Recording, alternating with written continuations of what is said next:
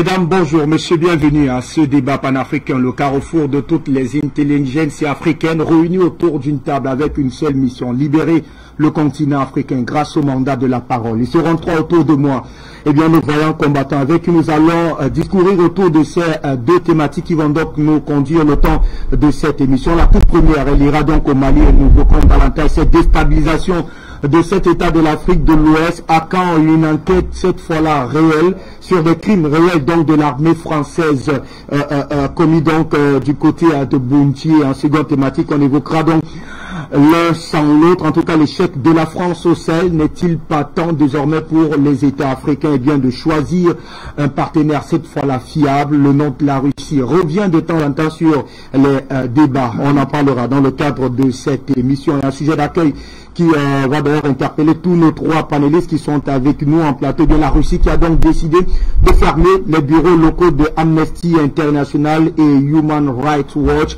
Une volonté donc euh, du Kremlin et eh bien, qui fait suite notamment à ces nombreuses allégations portées contre l'intervention, l'opération militaire donc, de cet État du côté euh, de l'Ukraine. Eh bien, cette donc près de 15 bureaux qui seront donc fermés, en tout cas la procédure qui devrait en principe durer un mois, qui euh, devra donc certainement mettre euh, un terme à l'activité de ces organisations, dit-on, non gouvernementales qui sont pointées d'un doigt accusateur comme étant responsables en tout cas de la manipulation, euh, mais surtout de la désinformation que l'on peut suivre depuis en tout cas le début de l'opération militaire de la Russie du côté de l'Ukraine. Nos civilités, cette fois-là, à nos panélistes qui nous accompagnent dans le cadre de ce programme. Tout euh, euh, euh, un habitué en tout cas de cette première partie du débat panafricain, président Badakani, que nous avons le privilège et le plaisir d'accueillir pour cette édition du débat panafricain. Président, bonjour, bienvenue.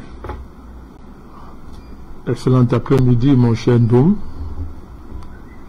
La fine fleur du journalisme panafricaniste qui prend le relais d'une génération de journalistes ayant fait ses preuves et qui nous rassure dans la continuité générationnel de l'exercice de ce métier dans les standards panafricanistes. Ces années-ci, il y a un standard en la matière que nous avons érigé par la pratique journalistique, n'est-ce pas, qui a prévalu ici.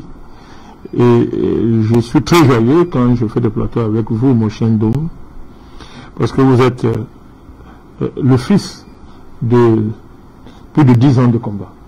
Et je voudrais saluer euh, la célérité et euh, le génie, n'est-ce pas, avec euh, lesquels vous, vous accomplissez les tâches du journalisme géomédiatique de ce niveau.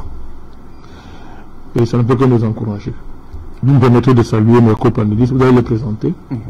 mais je voudrais les témoigner toute mon estime, mon respect, mais la reconnaissance à égard pour je parcouru jusqu'à ce jour et de révéler nos amitiés panafricanistes, la fraternité panafricaniste, la solidarité panafricaniste, sans lesquelles on n'aurait pas fait le chemin que nous avons fait jusqu'ici. Je salue les techniciens. Mm-hmm. Je connais les efforts qu'ils font pour maintenir ce standard.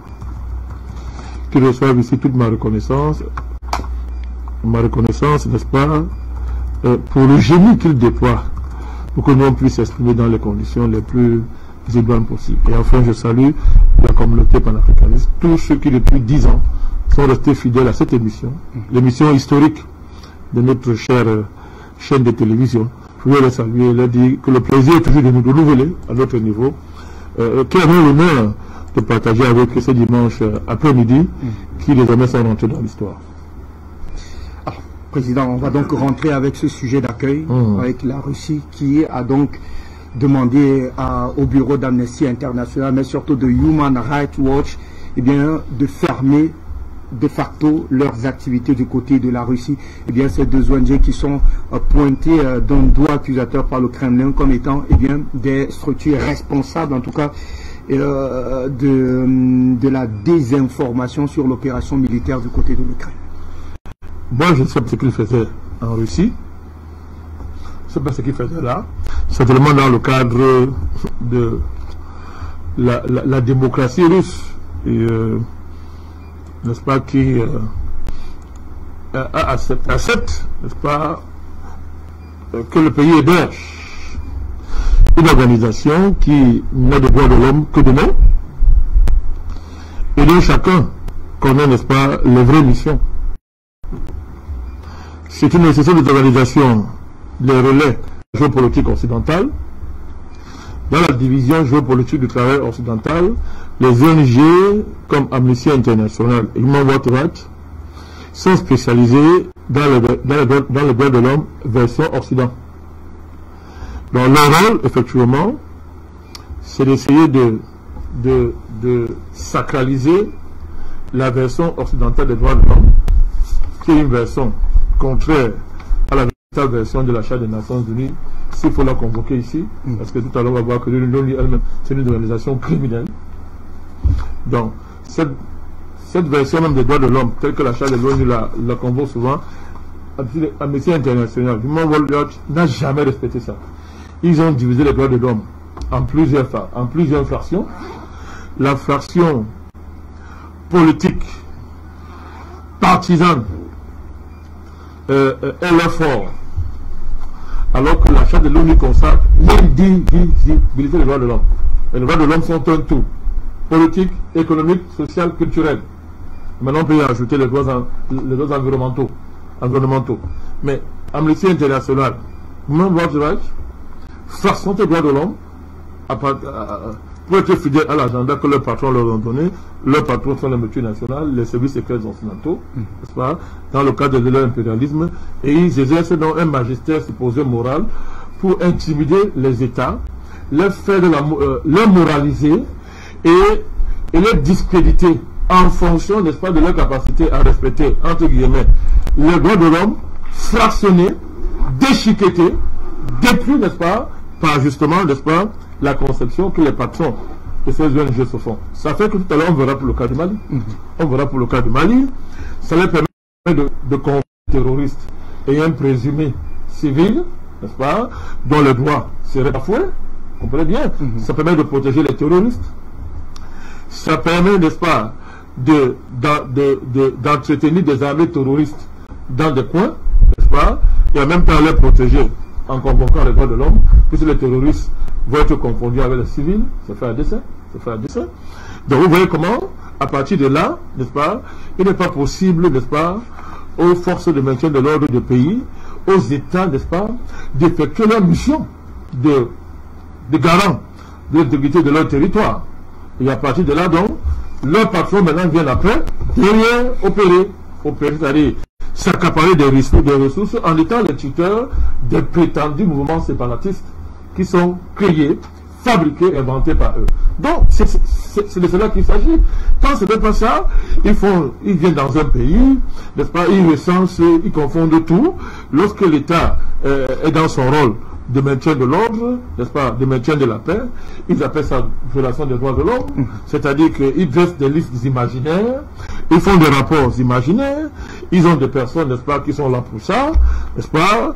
Euh, on donne même de l'argent à certains pour venir témoigner, n'est-ce pas. Ils passent le temps à recenser, n'est-ce pas, dans, dans, dans, dans, dans les pays, les supposées violations des droits de l'homme. Mm. Et ça devient un problème au niveau des Nations Unies quand ça ne sert pas à la, propagande occidentale. Donc moi, j'ai, ça fait, je sais pas, les Russes ont trop attendu. Ils ont trop attendu. Euh, je crois que tout le monde comprend aujourd'hui, je vais terminer par là, que chaque fois que l'État va chercher à faire plaisir aux Occidentaux, à jouer le jeu de la respectabilité dans le cadre, je ne sais pas, des partenaires avec, les Occidentaux, un moment viendra où tu seras obligé de t'assumer. Mhm. Parce qu'avec ces gens-là, il n'est pas possible de dire. C'est pas possible. Parce que quand vous êtes tranquille lorsqu'ils t'écrasent. Quand tu ne quand tu défends pas l'intérêt de ton pays. Quand tu vends ton pays. Mais dès que tu commences à défendre l'intérêt de ton pays, c'est là où tu vas voir la nature. C'est là où tu vas savoir à quoi servent les ONG et qu'est-ce qu'ils mettent dans le droit de, l'homme. Donc les Russes sont entretenus. Moi je me demandais qu'est-ce que c'est parce que Human Rights Watch et Amnesty International faisaient en Russie. Ils étaient pour donner des gages à l'Occident. Je pense que maintenant la Russie a compris que c'est un perdant. Hum. Ce pas des gens avec qui il faut traiter. La seule, le rapport qu'il faut avoir avec ces gens-là, c'est le rapport de rupture. De rupture. Il faut être extrêmement sévère avec ces gens. il ne faut pas faire de la, il faut pas ouvrir la moindre faille, n'est-ce pas, à leurs, à leurs, société civile pour qu'ils viennent devenir les interlocuteurs, les interlocuteurs de vos États. Dès que vous le faites, c'est fini pour vous. D'accord. Merci à vous, Président Bandakani. Maître vous êtes analyste politique, juriste également. On vous accueille dans le cadre de cette édition du débat panafricain. Bienvenue à vous. Bonjour, Maître. Bonsoir. Bon après-midi à vous.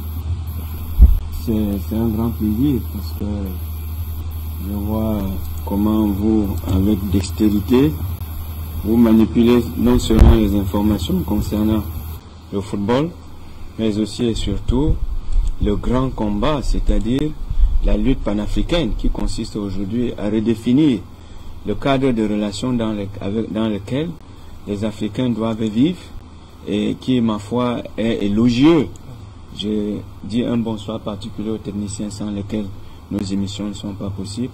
Président Bandakani, c'est un grand plaisir qu'on se retrouve après, je pense, plus de sept mois. On se retrouve sur un autre plateau, sur un plateau commun. C'est un grand plaisir de partager cette lutte engagée depuis longtemps. Et lorsque je vois que le Mali revient sur euh, le, thème d'aujourd'hui, M. Ndoum, cela me rappelle président Bandakani et nous allons ensemble profiter pour regretter la mémoire de Dr Ménissier. Dr Ménissier parce que lorsque IBK arrivait, euh, nous avions dit à cette époque que le Mali était en train d'être divisé. On est en 2022.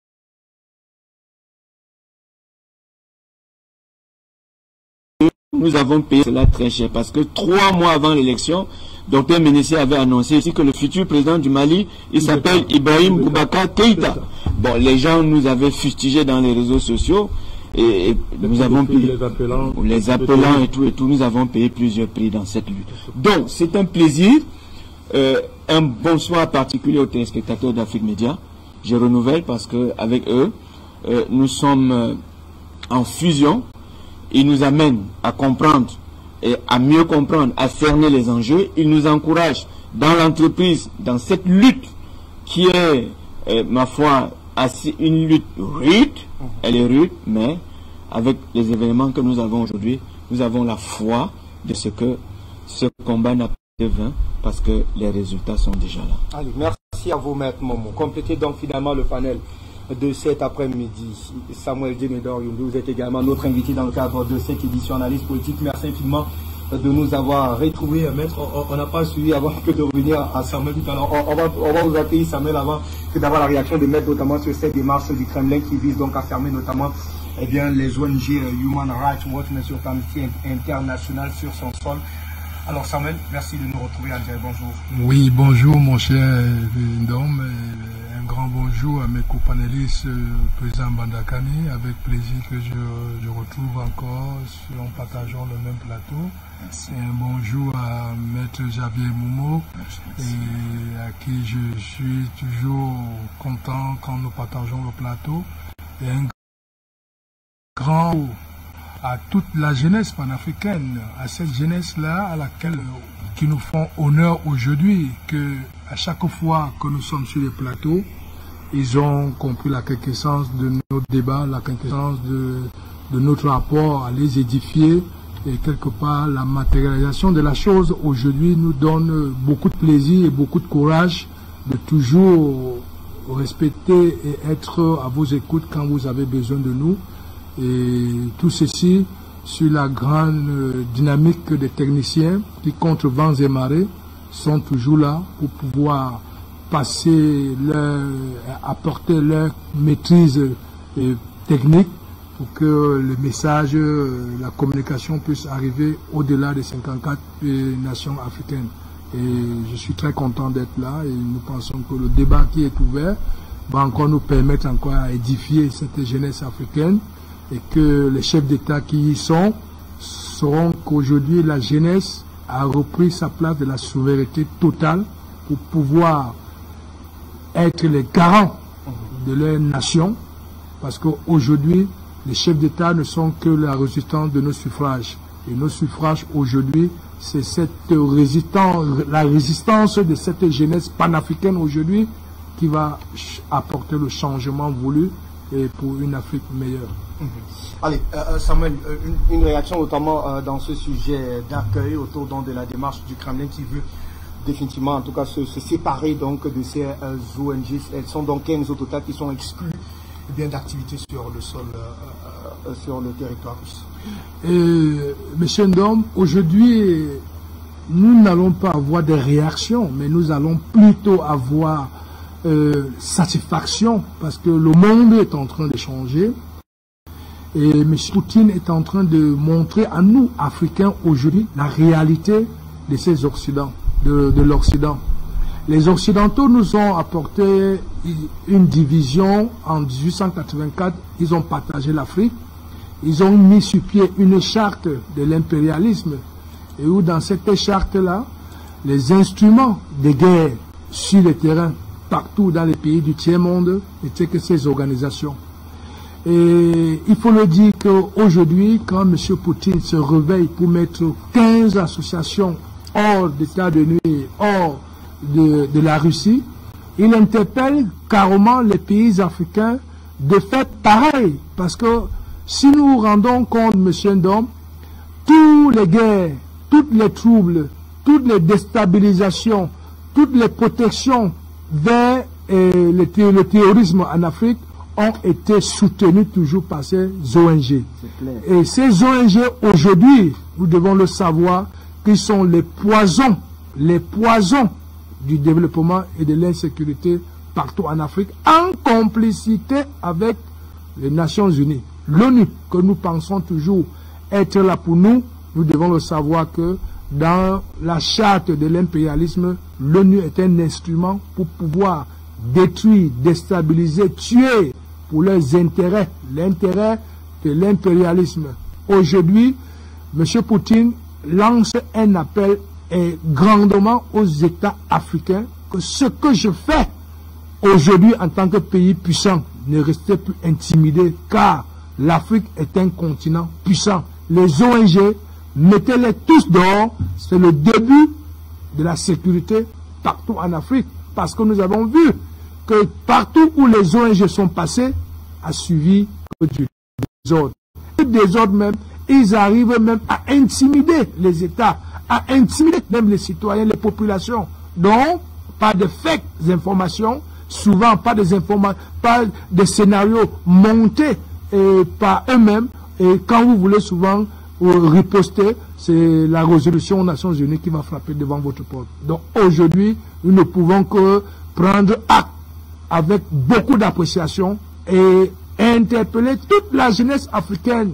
Comme je le dis encore chaque fois que je suis sur ce plateau, nous devions le savoir aujourd'hui que tous les ONG partout en Afrique doivent être non grata, des personnes, des associations non grata. Donc aujourd'hui, nous voyons que ce sont eux-là même qui vont dans les réserves, qui vont dans, nos ressources, piller nos ressources.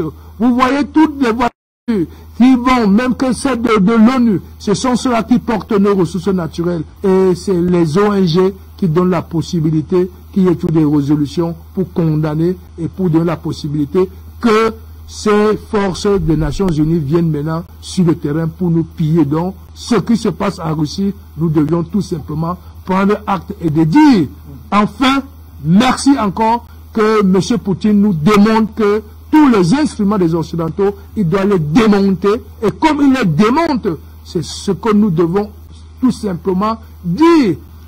Enfin, nous pouvons faire aussi comme les autres. Parce que les autres, c'est les qui? Les Occidentaux nous ont toujours démontré, si vous me permettez, M. Ndom, ils nous ont toujours démontré qu'ils étaient, qu'ils avaient la science infuse. Cette science infuse qui ne doit pas, qui, qui ne s'applique pas à eux, mais elle s'applique à nous autres. Voici l'installation des ONG en Afrique. Mais est-ce que vous n'avez pas vu que les ONG partout en Europe ne font pas leur travail? Ils sont là plutôt pour donner que des rapports. Mais en Afrique, et soi-disant, c'est là où il y a toujours du travail. Quel travail? La déstabilisation, l'insécurité, le sous-développement, les tueries. Et mais, quand ça va à leurs intérêts, vous n'allez pas voir une résolution de l'ONU. Mais quand ce n'est pas à leurs intérêts, vous allez comprendre directement que les ONG vont se lever, il y a une résolution, l'ONU va appeler tenant qu'il faut euh, un débat pour une résolution pour condamner. Mais aujourd'hui, M. Poutine est en train de démontrer à toute l'Afrique, prenez acte et sachez bien vous protéger par vos associations vous-même sur le terrain, par vos ONG sur le terrain, pas par les ONG de ces groupes de personnes, les gens Soros, des de, ce, ce, comment s'appelle encore ce monsieur-là, de Bill Gates. Parce que ce sont eux qui sont les moteurs des ONG parce qu'ils savent qu'est-ce qu'ils veulent faire en Afrique. Mais aujourd'hui, nous devons le savoir que les ONG n'ont plus place, même en Afrique. Si un pays, un grand pays, se met un matin, ferme la porte de 15 ONG, alors ce n'est pas une seule, c'est 15. Donc ça veut dire que ces instruments ne nous servent aussi à rien. D'accord, merci à vous. Euh, alors, Maître Momo, il est donc désormais clair. Et, eh bien, euh, euh, pour ceux-là qui pensaient davantage que ces ONG sont au service notamment d'une prétendue liberté, alors d'une prétendue liberté des, droits de l'homme, j'arrive finalement sur le continent africain. Aujourd'hui, le, cas que nous présente Vladimir Poutine avec notamment la Russie est clair. Il faut absolument se débarrasser, comme l'a dit Dionedor, effectivement, de ces ONG qui n'ont pour seule eh bien, mission que de servir en guillemets, ce dont il a cité, mais avantages des États-Unis. Alors, euh, merci pour cette question. Euh, les Africains à qui nous parlons doivent comprendre une chose. Les organisations non gouvernementales accréditées chez nous et partout ailleurs en dehors de l'Occident, c'est pas seulement de l'Afrique, jouent un rôle hybride, c'est-à-dire le rôle consiste à servir les financiers. Ça, c'est le premier rôle des ONG. Servir les financiers, c'est quoi? C'est respecter la politique impérialiste de ceux qui les financent. Parce que lorsque vous regardez ces ONG, après euh, la, conception sur le travail à faire sur le terrain, il faut maintenant la logistique. Or, qui sont ceux qui procurent la logistique aux organisations non gouvernementales? L'affaire des biens mal acquis concernant la Guinée équatoriale nous a édifié suffisamment. Ou, euh, dans un jugement, les, ONG Transparency International France a été considéré comme partie civile et à qui l'argent, c'est-à-dire les dommages ont été alloués comme si l'organisation non gouvernementale avait souffert de quelque préjudice que ce soit. C'est à ce niveau que nous avons commencé à comprendre que euh, ces ONG, ma foi, sont euh, non seulement pendent des rapports à tes chercheuses, mais elles-mêmes, les ONG, sont le reflet de la politique gouvernementale de leurs financiers. Si vous avez Human Rights Amnesty International ici, qui vient d'être bouté hors de, la, hors de la Russie, mais Amnesty International est financé en priorité par le MI6, c'est-à-dire les services de renseignement britanniques. Alors, lorsqu'ils les financent, M. Ndoum, mais vous pensez qu'ils peuvent pondre un rapport dans lequel la politique extérieure anglaise, française ou occidentale est engagée et que ce rapport les incrimine ou les met, les met au crime Non, du tout, du tout. Euh, pas du tout. Alors, Poutine, dans cet engagement en Ukraine, nous appelons euh, ici à Afrique Média, sur le contrôle du président Bandakani, ça c'est, il n'y a pas d'opération militaire en Ukraine, c'est une opération humanitaire.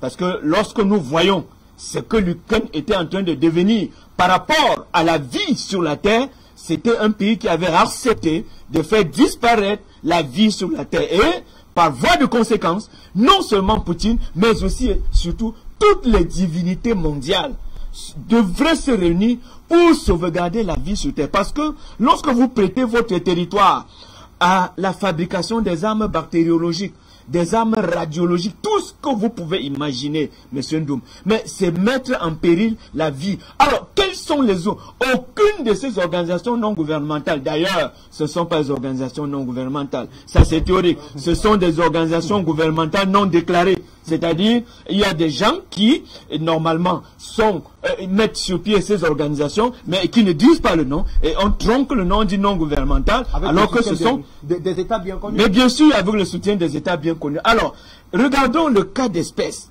Dans cette opération humanitaire, je dis bien, je le répète, l'opération humanitaire de la Russie en Ukraine. Mais quelle est l'organisation non gouvernementale qui a décrié les laboratoires de, de, recherche et de mise sur pied des armes bactériologiques qui étaient en train d'être mises sur pied en, en Ukraine? Aucune ONG. Alors, qu'est-ce que cela veut dire? Cela veut dire que, répondant de la politique de l'aide financière, Pourtant, ça a été prouvé. mais il ne pouvait ça pas. a été prouvé qu'il y, avait, qu'il y a des laboratoires, en tout cas, euh, euh, effectivement, de, de fabrication des armes bactériologiques. Mais bien sûr. Du côté de l'Ukraine. Mais le coronavirus, dont on a, dont depuis novembre 2000 2019, le monde entier en souffre. D'où vient? Mais ils étaient, ils avaient déjà mis sur pied un virus appelé Crimée-Congo. Mais d'où sort le nom du Congo? La, Crimée, encore on peut comprendre que c'est un État dans la sphère de, de- de cette zone d'influence russe. Mais le Congo, qu'est-ce que le Congo vient faire? Vous vous souvenez, président Bandakani, qu'en 79, à la veille des années 80, on nous a annoncé le sida et ce sont des vedettes africaines qui avaient été présentées comme étant atteintes de cette maladie. Mais curieusement, jusqu'à aujourd'hui, ces vedettes sont vivantes. Or, le sida a déjà plus de 40 millions de morts en Afrique. Le coronavirus est intervenu en 2019. Mais ce sont des armes bactériologiques, monsieur Ndoum. Ce ne sont pas des maladies parce que lorsque le monde a été créé tel qu'il a été créé par Dieu, nous connaissons des épisodes de maladies, mais je fais une parenthèse. La conquête des, des 13, é- les 13 États primitifs, le Far West, la conquête du Far West. Mais où, est le peuple originaire des États-Unis, de l'Amérique, qui étaient les Indiens? On vous a parlé des épidémies de choléra.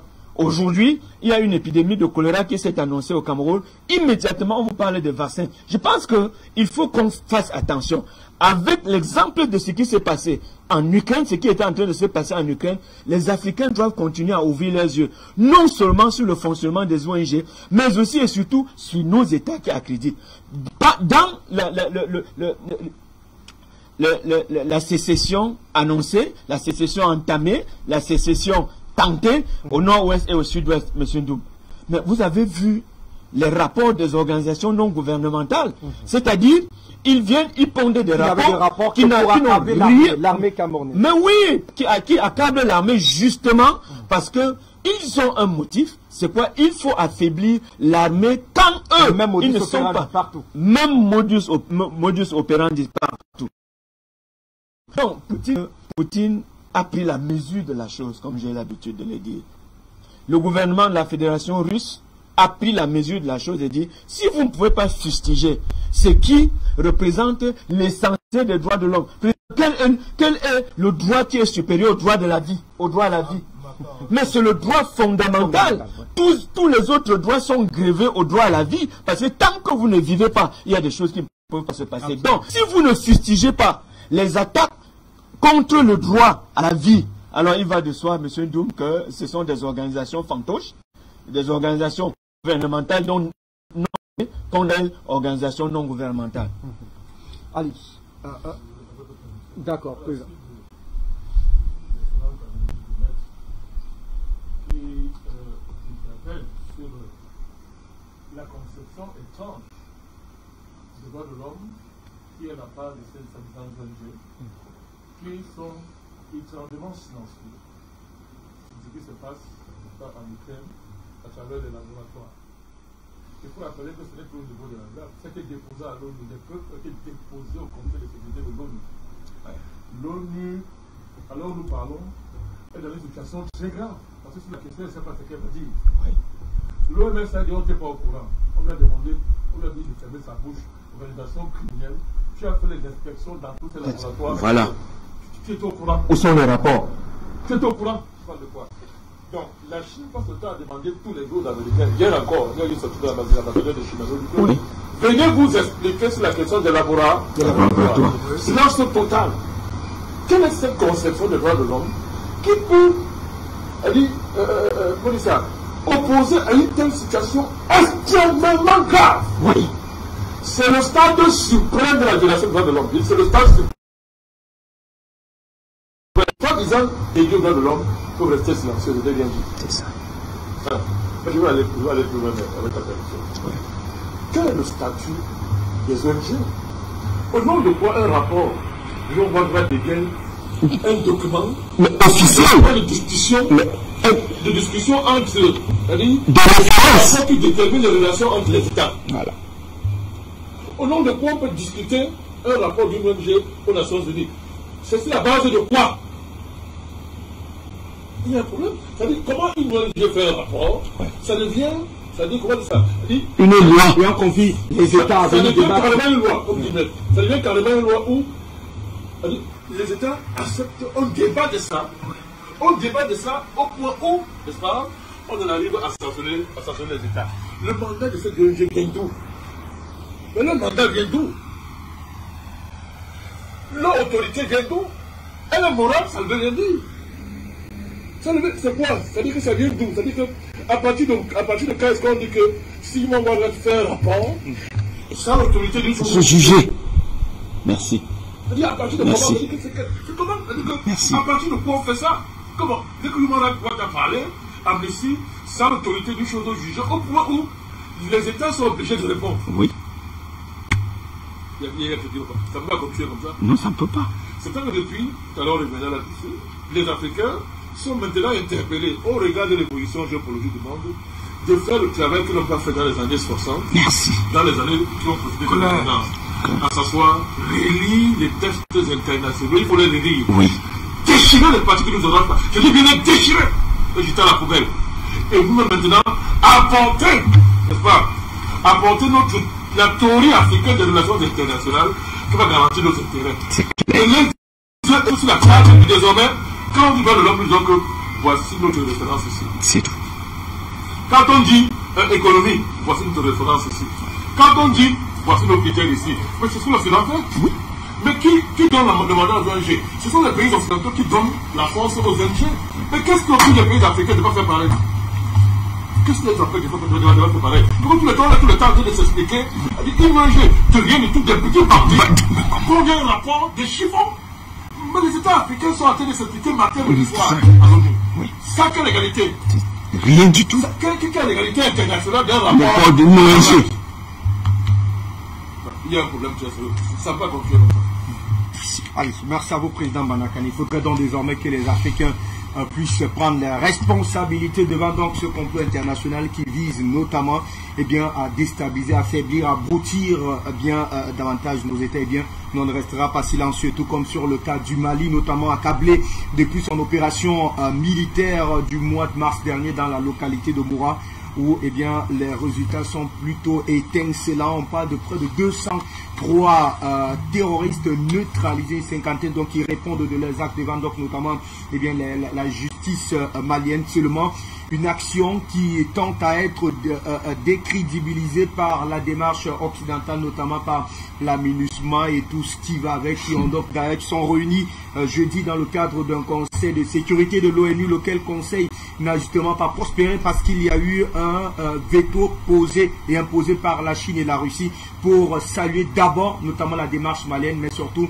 s'opposer à toute euh, velléité de déstabilisation eh bien, euh, de cet État-là. Allez, Maître nous donnons la première prise de parole autour de cette actualité malienne parce que là, on s'est véritablement fauté, monsieur, on va le dire, à cette opposition euh, russo-chinoise sur la que cherche la question est simple, que cherche davantage eh bien l'ONU, euh, euh, euh, on va dire l'Alliance Atlantique sur la question malienne.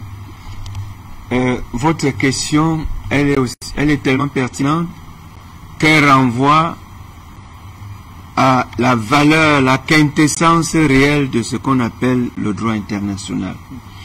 Est-ce que le droit international, c'est l'instrument de protection des États mis sur un même pied d'égalité ou c'est l'instrument de la parole du bon vouloir des forts C'est à ça que se résume votre question. Alors, les forts pensent. Et les forts, c'est qui, M. Ndou C'est l'Occident. Ils pensent que ils peuvent, avec leur force, modifier à leur guise les instruments qui commandent une association comme l'ONU. N'oubliez pas, hein, l'ONU est une association. Et quand on parle d'association, il y a un mot fondamental, c'est l'affectio societatis. C'est-à-dire que nous acceptons ensemble de vivre sous les lois euh, euh, euh, d'une institution à laquelle nous sommes soumises. Alors, vous demandez ce qu'ils cherchent. Mais ils cherchent un sauf-conduit comme ce qu'on a eu la résolution 1975 concernant le cas de la Libye. C'est-à-dire, ils cherchent un sauf-conduit, c'est-à-dire euh, euh, euh, un prêtre, un, un expédient sur lequel ils vont s'accrocher pour ramener le désordre au Mali en vous disant, en réalité, ils sont en train de venir avec de l'ordre, de la sécurité. Donc, aujourd'hui, la chance, c'est que il y a un contrepoids. Vous savez,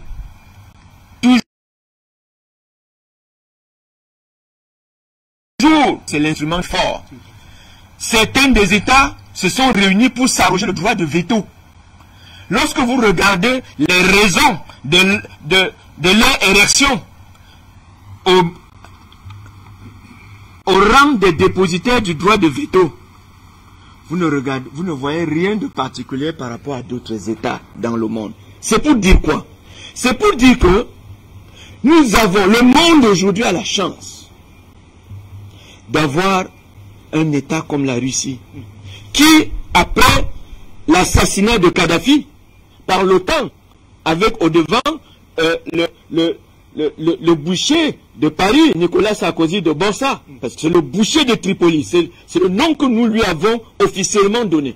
Donc, ils se sont, ce qu'ils ont eu pour le cas de la Libye, ils sont en train de le chercher pour le cas du Mali. Jusqu'aujourd'hui, ils continuent à appeler les éclaireurs maliens, nous appelons ceux qui sont au pouvoir malien aujourd'hui, c'est des éclaireurs parce que c'est eux qui tiennent la lumière avec laquelle les Maliens regardent et voient. Ils disent, ils continuent d'appeler les éclaireurs du Mali la junte.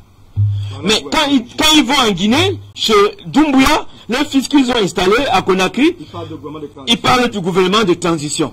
Alors, vous comprenez comment le droit international est une chimère, système deux poids, deux mesures. Pourtant, on dit à tous les États de l'ONU que vous avez les mêmes droits, les mêmes devoirs, vous êtes soumis à la même charte des Nations Unies et vous êtes assujettis aux lois qui, sont, qui ressortissent de cette charte des Nations Unies. Sur le plan pratique, on voit tout le contraire. Je dis à commencer par le droit du veto. Et à chaque fois qu'il faut nuire à un pays, lorsque l'Occident veut nuire à un pays, il, il, il, il s'arrange à ce que le propriétaire qui est, dont la présidence est tournante, que celui qui autorise ne soit pas un pays occidental. Quand je pense que c'est le Cameroun qui a autorisé la guerre du Golfe, parce que c'est le Cameroun qui était à la présidence du Conseil de sécurité à cette époque. C'est fait à volonté par eux. Pourquoi? Parce que dans leur plan machiavélique, ils ne veulent pas se mettre au devant. On vous a dit, Saddam Hussein était dépositaire d'armes de destruction massive. Que qu'on dit ces ONG pour revenir à ce qu'on disait tantôt. Mais qu'a dit le Conseil de sécurité des Nations Unies? Mais les, les- les forts ont eu raison. Les forts voulaient intervenir, président Bandakani. Les forts voulaient détruire. Et le droit international leur a donné une assise pour aller détruire. Ils leur ont donné l'autorisation. C'est ce qu'ils recherchent au Mali. Ils veulent à tout prix nuire à la lumière, la nouvelle lumière africaine que le Mali est en train d'apporter. Mais qu'ils savent, qu'ils comprennent que cette lumière, elle n'est pas humaine. C'est une lumière divine. Elle est céleste. Et ceux qui sont aujourd'hui à la tête de ce Mali, ils ont toute la couverture, toute la bénédiction de tout le peuple africain et même de toutes les divinités africaines parce que eux, ils regardent et voient. Je vais vous dire, lorsqu'aujourd'hui, la Chine, par la force des choses, président Banaka, à un moment donné, on s'est inquiété sur la position de la Chine. Fort heureusement, la Chine s'est prononcée de façon claire et publiquement. Et c'est ce que nous voulons.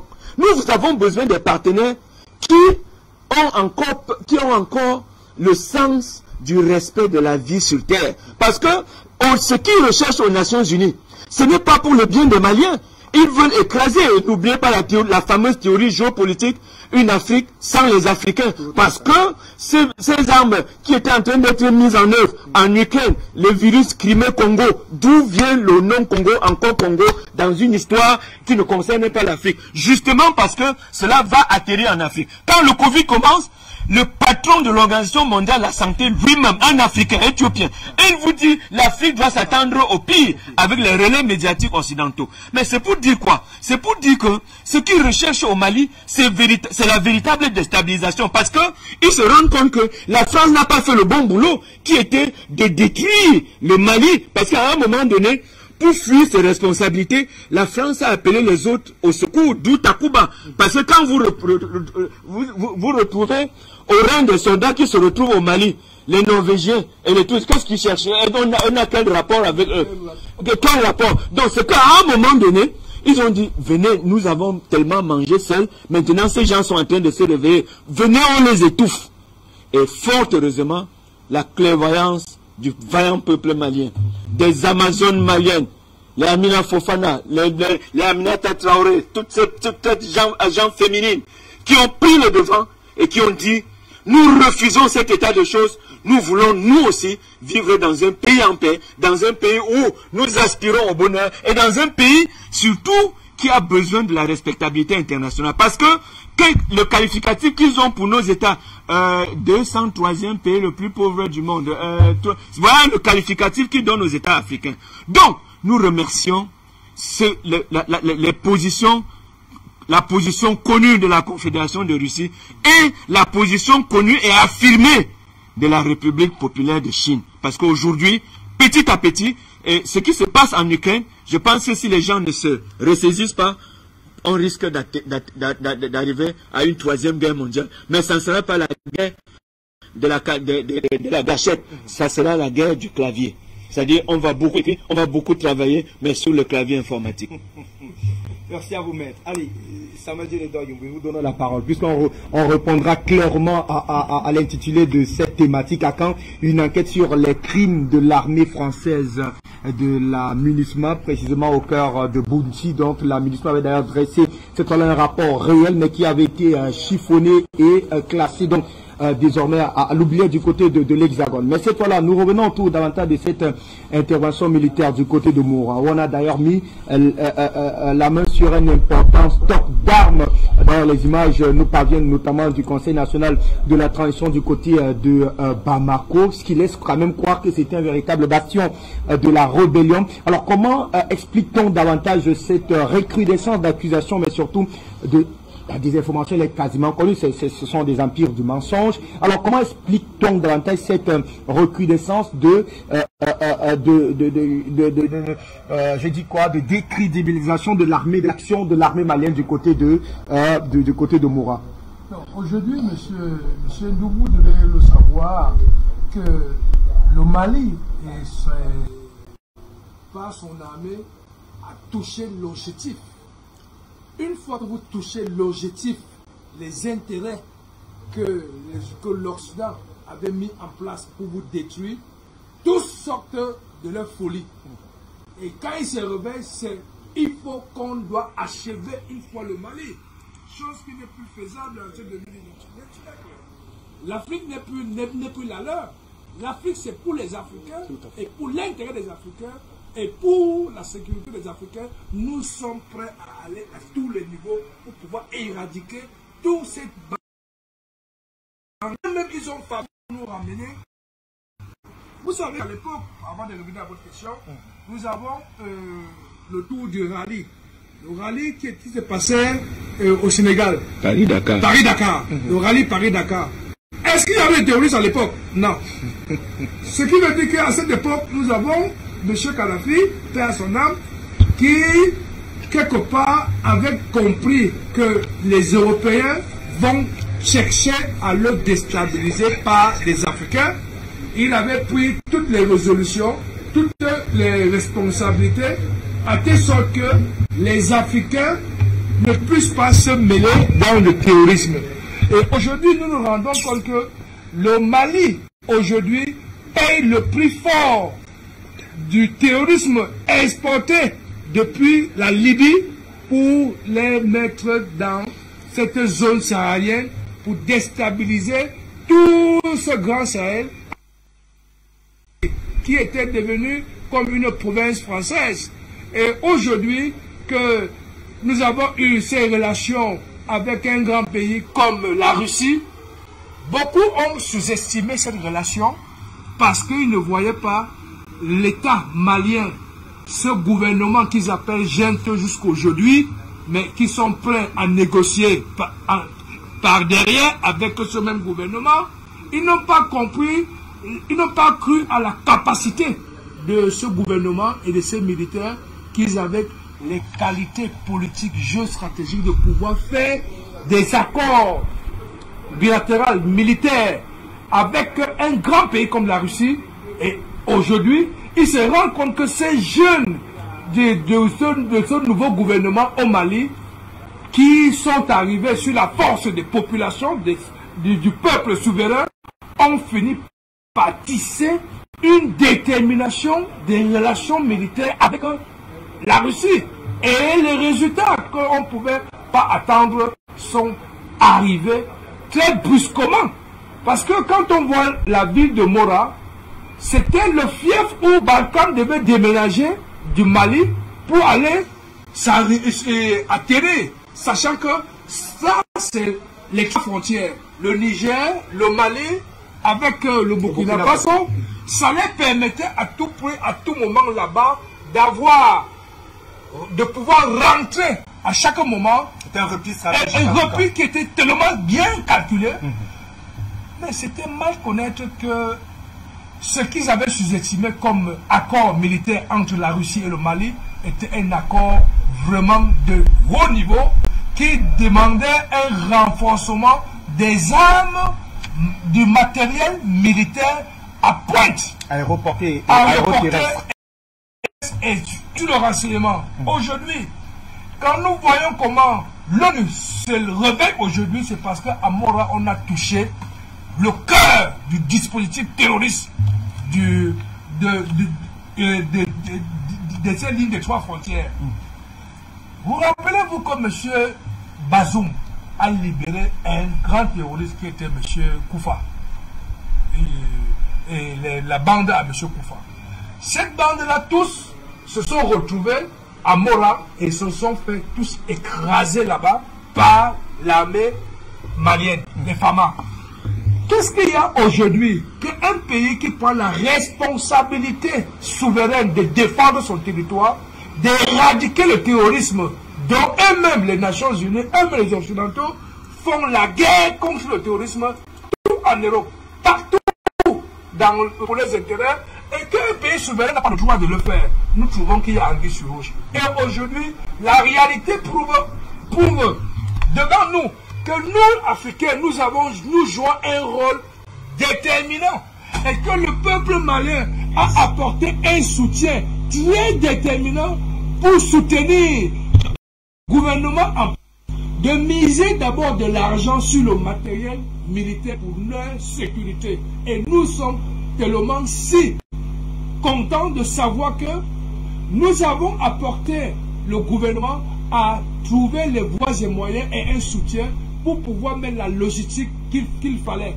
Donc, si les Occidentaux aujourd'hui se rendent compte que le pays qu'ils ont voulu déstabiliser, le pays qui pensait que tous devaient venir se redépartager, la chose ne passe plus. Ça veut dire le Mali a touché où il fallait toucher. Et ce n'est pas encore arrivé parce que aujourd'hui que la clé du camp militaire de Kidal est dans la main des forces armées, il faut rentrer maintenant dans le désert de Kidal.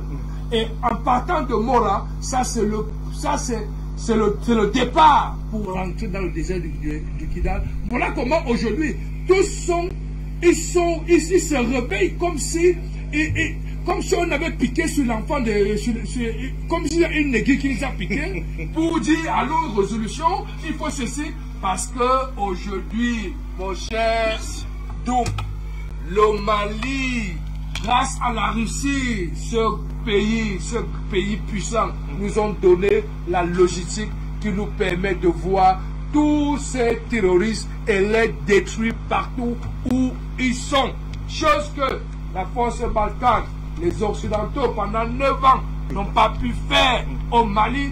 Aujourd'hui, c'est les Maliens eux-mêmes sont au front avec leur matériel militaire, avec tout ce qu'il faut avec pour pouvoir détruire et déstabiliser la jeu stratégique euh, d'occupation que les Européens avait déjà planifié pour toute la zone du Grand Sahel. Donc aujourd'hui, ce n'est qu'une victoire que africaine. Ce n'est plus une victoire malienne, c'est une victoire africaine aujourd'hui. Et comme c'est lancé, se fait dans tout le Sahel jusqu'au Sahara. Parce que le seul point de chute, de repli, ça sera dans le Sahara là-bas. Donc ce qui veut dire, si aujourd'hui on veut déstabiliser le Mali, c'est tout simplement parce que les forces françaises européennes ont sous-estimé et aujourd'hui le résultat devant eux, c'est le monde entier, l'opinion internationale et surtout l'opinion nationale malienne qui sont maintenant les, cette force déterminée à soutenir le gouvernement en place par rapport aux résultats qui se passent parce que ces résultats donnent espoir, ces résultats donnent encore la vie aux Maliens et le retour des réfugiés de rentrer s'asseoir dans les maisons, aller et de, développer leur région, trouver la possibilité de vivre. Et donc aujourd'hui, ce que nous sommes en train de vivre, c'est que la France qui avait prédit que lorsqu'elle va se retirer, le Mali va tomber en, euh, dans, euh, dans. Aujourd'hui, le Mali est plutôt debout. La CDAO qui avait pensé jouer à ce double jeu, aujourd'hui, se retrouve isolée. Et l'UMOA qui a apporté sa contribution, dans sa contribution qu'elle a apportée, on comprend que la CEDAO vient suspendre la justice de l'UMOA. Ça veut dire qu'il y a une complicité maintenant. Ils veulent tout prix annexer même le Mali. La, ce qui les coince aujourd'hui, c'est que l'éveil de conscience du peuple malien, des populations maliennes, des femmes maliennes, de la jeunesse malienne, elle est debout et ils se disent, s'il faut rentrer maintenant, ça sera un génocide à ciel ouvert. Mm. Et M. nous a déjà préparé, nous, peuple africain, que vous êtes des pays forts. La seule arme que vous avez, c'est de comprendre que vous êtes riche et que votre arme que vous, de missiles que vous pouvez avoir, c'est de vous comprendre et de savoir que personne ne doit venir faire l'ingérence dans votre pays encore à la mesure que vous avez les capacités pour vous défendre, la mesure que vous avez les capacités pour pouvoir discuter d'égal à égal avec l'Occident qui vient en face de vous, comme vous avez fait avec moi la Russie. Qu'est-ce que j'ai fait? Nous avons échangé. Vous m'avez demandé ce que vous vouliez. Je vous ai apporté.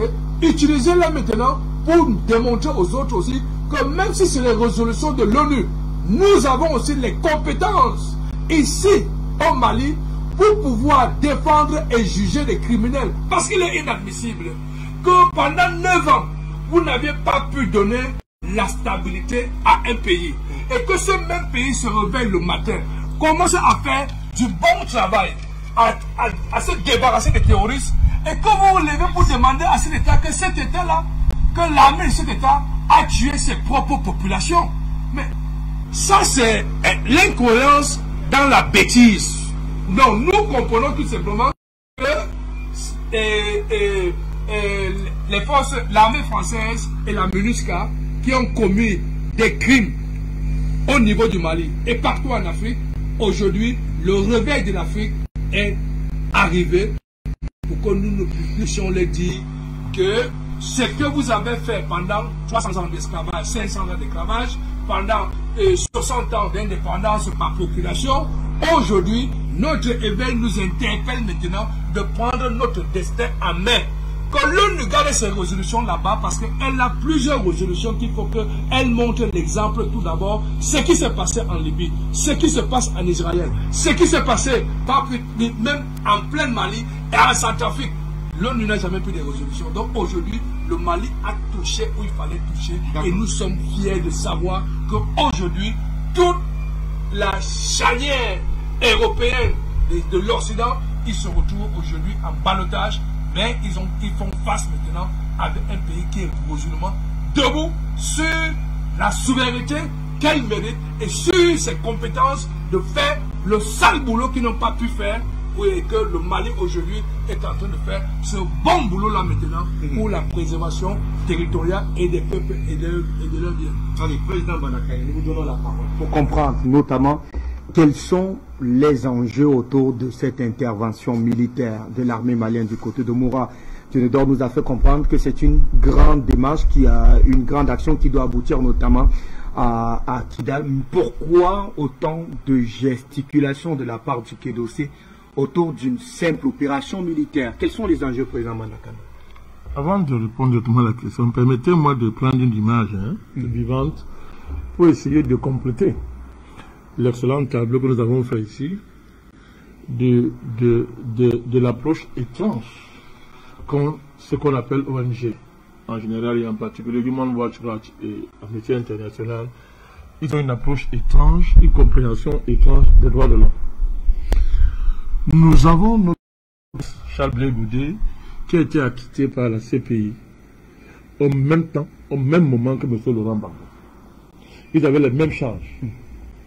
Le président Gbagbo est rentré chez lui, il est en Côte d'Ivoire. Jusqu'à présent, pourquoi on interdit à Goudé de rentrer en Côte d'Ivoire? Vous m'expliquer Président, après votre première intervention, il y a comme si J'arrive. les lignes bougé du côté Je vais, je vais vous démontrer quelque chose simplement. Avant, avant d'arriver à ça, est-ce que vous savez que le droit d'avoir un pays, une patrie, c'est l'un des premiers droits de l'homme? Quand vous allez voir les droits de l'homme, le droit d'avoir une patrie, c'est-à-dire le pays, c'est-à-dire quand tu dis je suis Camerounais, c'est-à-dire je suis de telle nationalité, c'est l'un des premiers droits de l'homme. Pourquoi Amnesty International, Human Watch Watch, parce qu'on est maintenant obligé de citer ces, ces, ces poubelles qui osent prétendre qui sont des ONG, ne mentionne pas le cas du ministre Charles Blé Goudé. C'est pas un être humain. C'est-à-dire quelqu'un est acquitté. C'est-à-dire que pendant 10 ans, on l'a accusé injustement. Faussement. Après, on dit que non. On s'est vraiment. On l'a acquitté. Tout ce qu'on disait là, tous les qui allaient contre toi sont infondés. Dans un monde sérieux, on juge la CPI. On juge Madame Bensouda. Je l'appelle Madame parce que c'est poli. On juge Madame Bensouda. On les juge dans un monde sérieux. Mais M. Blé Goudé ne peut pas rentrer chez lui. On lui refuse le passeport pour rentrer chez lui. Il a fallu que nous on crie ici qui ne sont pas des ONG. Nous qui militons pour les vrais droits de l'homme. Absolument, président. Qu'on crie ici pour que celui qui s'appelle qui s'était appelé président de la Côte d'Ivoire se réveille de son sommeil. S'il dormait. Soit rattrapé politique et c'est de Blé pour dépêcher son directeur de cabinet auprès de Goudé, lui promettant que bientôt ça va s'arranger. S'arranger. Où est Amnesty International? Où est Human Watch Watch Et le relais locaux Blé Goudé n'est-il pas un être humain Je pose la question. Vous voyez la conception étrange que les gens ne voient de l'homme Et quand on dit étrange, on est très poli, maître. C'est c'est extraordinaire. Nous, je, je convoque ce cas. Il y a le cas de cet entier, euh, euh, euh, Elie Demota. Demota est la figure de pro du syndicalisme guadeloupéen, maître. Tu sais que le panafricanisme n'a pas de sens si on prend en charge les questions de la Caraïbe, de tous les peuples africains dans, le monde entier. On est obligé d'assumer ça, c'est clair et net, sinon c'est pas le panafricanisme. interpellé sur le cas de Mayotte, il faudrait d'ailleurs que Non, mais je sens. Mais, pour le cas de Mayotte, parce Ne- qu'il y a beaucoup d'Africains là-bas. mais on va y arriver, c'est pas seulement Mayotte. On est en train de. On va y arriver. Il y a la Guinée, il y a, il y a la il y a Guinée-Papouasie. Il y a beaucoup. Je dis que tous les dossiers, le cas de la Guinée-Papouasie, c'est un cas géopolitique de haut niveau. Hein. Il y a Djibouti qui est à côté de nous là. Djibouti là. Donc, Elie Demota est la figure de pro du syndicalisme en Guadeloupe, maître. Et il a été au cœur des manifestations en Guadeloupe contre le pass, le, le pass vaccinal. Depuis, il est en prison avec ses, avec ses camarades. Il est en prison avec ses camarades. Où est, où est Amnesty International? Est-ce que Demota n'est pas un être humain? C'est pas un cas de de l'homme sérieux, ça? Et lui Demota et ses collègues. Qui couplent en prison? Depuis des mois simplement leur métier de syndicaliste garanti par toutes les chartes des Nations Unies. Le droit syndical. Mais est-ce que le fait de pratiquer le syndicalisme n'est pas un droit de l'homme? Garanti par la Charte des Nations Unies. Pourquoi Amnesty International n'en parle pas? Je convoque ce cas simplement pour vous pour mettre sur la table l'étrangeté de la conception du rapport qu'ont ces ONG euh, aux droits de, de l'homme. La vérité, c'est ceci, mon cher homme, je reviens à votre question, c'est qu'il faut, il faut le dire sans avoir peur. Ils ne connaissent pas ce qu'on appelle le droit de l'homme. N'ayez pas peur de le dire. Vous avez peur de quoi? L'Amnesty International, Human Rights Watch, ne connaissent rien en matière de droits de l'homme. C'est une affaire très sérieuse pour le laisser. Et on va aller pas à pas. Pour que cette question, vous dire. Les enjeux qu'il y a à Moura, parlons comme ça, les enjeux de Moura, euh, mon cher Doum, sont des grands enjeux. Commençons par un tout simple. Ben, c'est-à-dire, au nom de quoi? Un État, un État qu'on appelle la France, a le droit d'apprécier, de juger, de noter l'action d'un autre État qu'on appelle le Mali. Vous me demandez de parler des enjeux. C'est-à-dire que est-ce que les Maliens se mêlent des opérations de la situation de l'homme en France? Vous voulez qu'on fasse un rapport de l'homme en France? Vous serez très surpris. Allez lire même, c'est-à-dire, allez lire les rapports, les conclusions secrètes qu'on ne publie même pas. Quand on analyse la situation de l'homme dans le monde, vous serez surpris de la position d'un pays comme la France, du rang qu'elle occupe. Je dis, vous serez surpris. Allez fouiller les rapports, les rapports, qu'on publie pas, c'est-à-dire qu'il n'y a pas de publicité autour. De la ne valent rien, ça sert à rien, mais allez quand même lire ça. Vous serez surpris. Très surpris. Est-ce que les Maliens, le Mali s'est mêlé du traitement que la France a infligé aux Gilets jaunes? Est-ce que le Mali se mêle du traitement que la France inflige aux immigrés noirs en France? Alors actuelle, la France est un des rares pays au monde où un repris de justice pour racisme, condamné par la justice et candidat à l'élection présidentielle. Monsieur Zemmour. C'est-à-dire que où on a banalisé le racisme. Dans le discours politique, on a banalisé, on stigmatise les minorités, entre guillemets, les minorités raciales. Mon cher nous. Il y a pire ennemi de, de l'homme que le racisme. Moi, je pose la question je, suis en train de vous dire, est-ce que, c'est-à-dire que, même, vous parlez, vous parlez des droits de l'homme à cher consort. prenez le cas, est-ce que, prenez, prenez, le cas de monsieur, on, va aller même très loin. Vous prenez le cas, un dossier comme celui de monsieur Fillon, à la dernière élection présidentielle. Droits n'ont tout pas été bafoués. Lorsqu'on fait pression sur les juges pour condamner quelqu'un pour des raisons politiques, c'est-à-dire la justice, devient un comité politique au service d'un candidat, M. Macron. Et que le même cas se répète aujourd'hui. Le même cas. Empire Empire. M. Macron, on n'en parle pas. Vous voyez qu'il n'est pas question de droit de l'homme à ce, niveau-là Au niveau de l'accès à la justice, le rapport que la justice a aux mêmes citoyens d'un pays. C'est-à-dire que, citoyens d'un pays. Vous voyez que ce n'est pas une question de droit de l'homme Je prends seulement ce cas-là. Je parle de Fillon, je parle de M. Macron. Mais il y a une liste, la liste est très longue. La liste est très longue. Je suis vous, démontrer que, matière de droits de l'homme, laissez la, la France bavarde trop dehors en la matière dehors pour qu'on ne voit pas ce qui se passe à l'intérieur de la France, qui est de plus en plus un cimetière de droits de l'homme. Je ne parle pas de la gestion du Covid. On a supprimé les libertés des Français en violant la Constitution française. Un, il y a un conseil de défense qui a remplacé la Constitution française. Je vous le dis, dans la Constitution française, ça n'existe pas. Ce qu'on appelait conseil de défense là, n'est pas constitutionnellement défendable en France. Je vous le dis, il y a des auteurs qui ont écrit là-dessus, des livres récents en la matière, qui le démontrent. Dit que,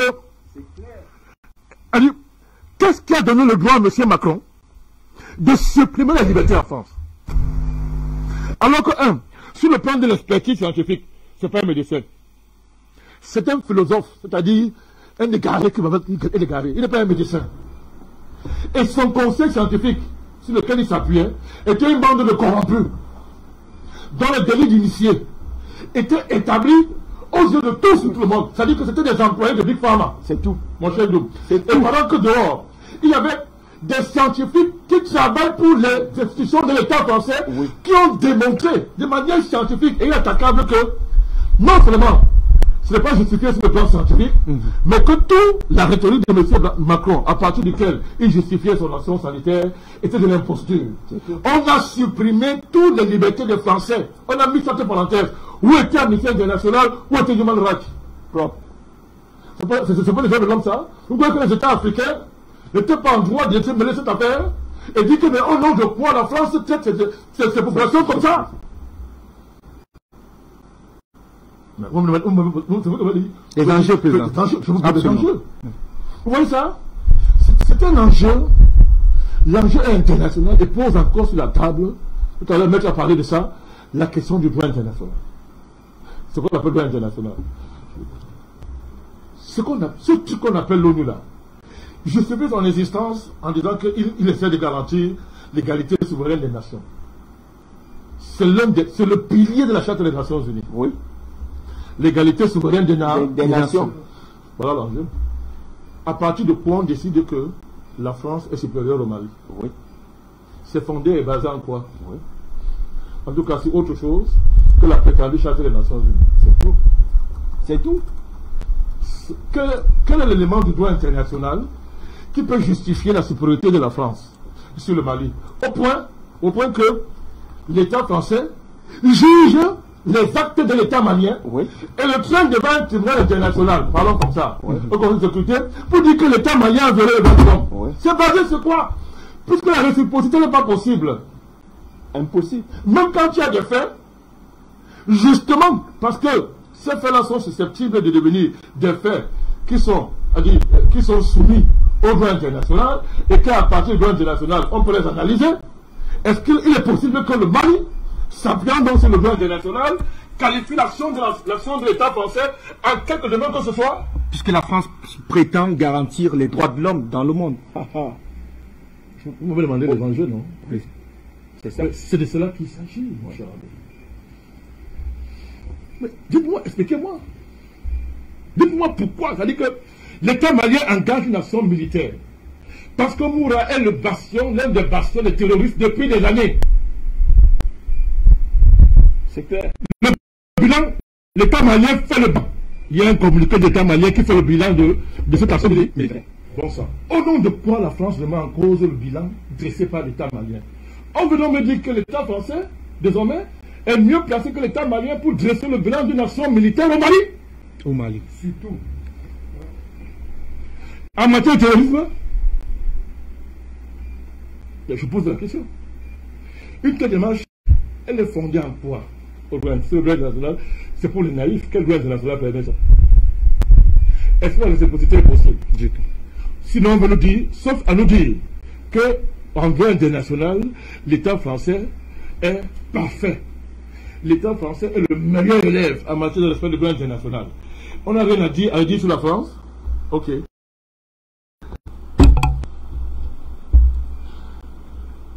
La France peut oser se mêler, oser même aller parler à l'ONU. La France, chaque fois qu'elle elle a des militaires dans un pays, des contingents militaires, surtout en Afrique, c'est en Afrique qu'elle fait beaucoup ça premier accord qu'elle signe, c'est quoi? Elle signe la, la délocalisation de, de ces militaires. C'est-à-dire que tout ce que ces militaires font, quand le territoire Sont pas les tenus. sont pas très peu on ne responsables peut pas les juger devant les tribunaux de ce pays. de ce pays. ce pays. Ça a été le cas avec la République centrafricaine très récemment. Ça veut, dire, ça, ça veut dire quoi? Ça, ça veut dire ils peuvent tout faire. Ils ne sont pas sujets de droit. Ils ne répondent pas de leurs actes. Supposons qu'on on fait ça parce que, ok, vous avez les mauvais tribunaux chez vous. Ce n'est pas les tribunaux chez vous, vous ne valez rien. Ce sont les tribunaux de singes. Ok, il y a une justice extraordinaire en France. Ok, quand ces militaires-là rentrent dans en France et que le dossier soit soumis à la justice, il se passe quoi, maître? Non-lieu. Le parquet de Paris. Non-lieu. Que Il n'y a rien eu. Avec les rapports de la MINUSCA. Bon, ce que je dis quoi?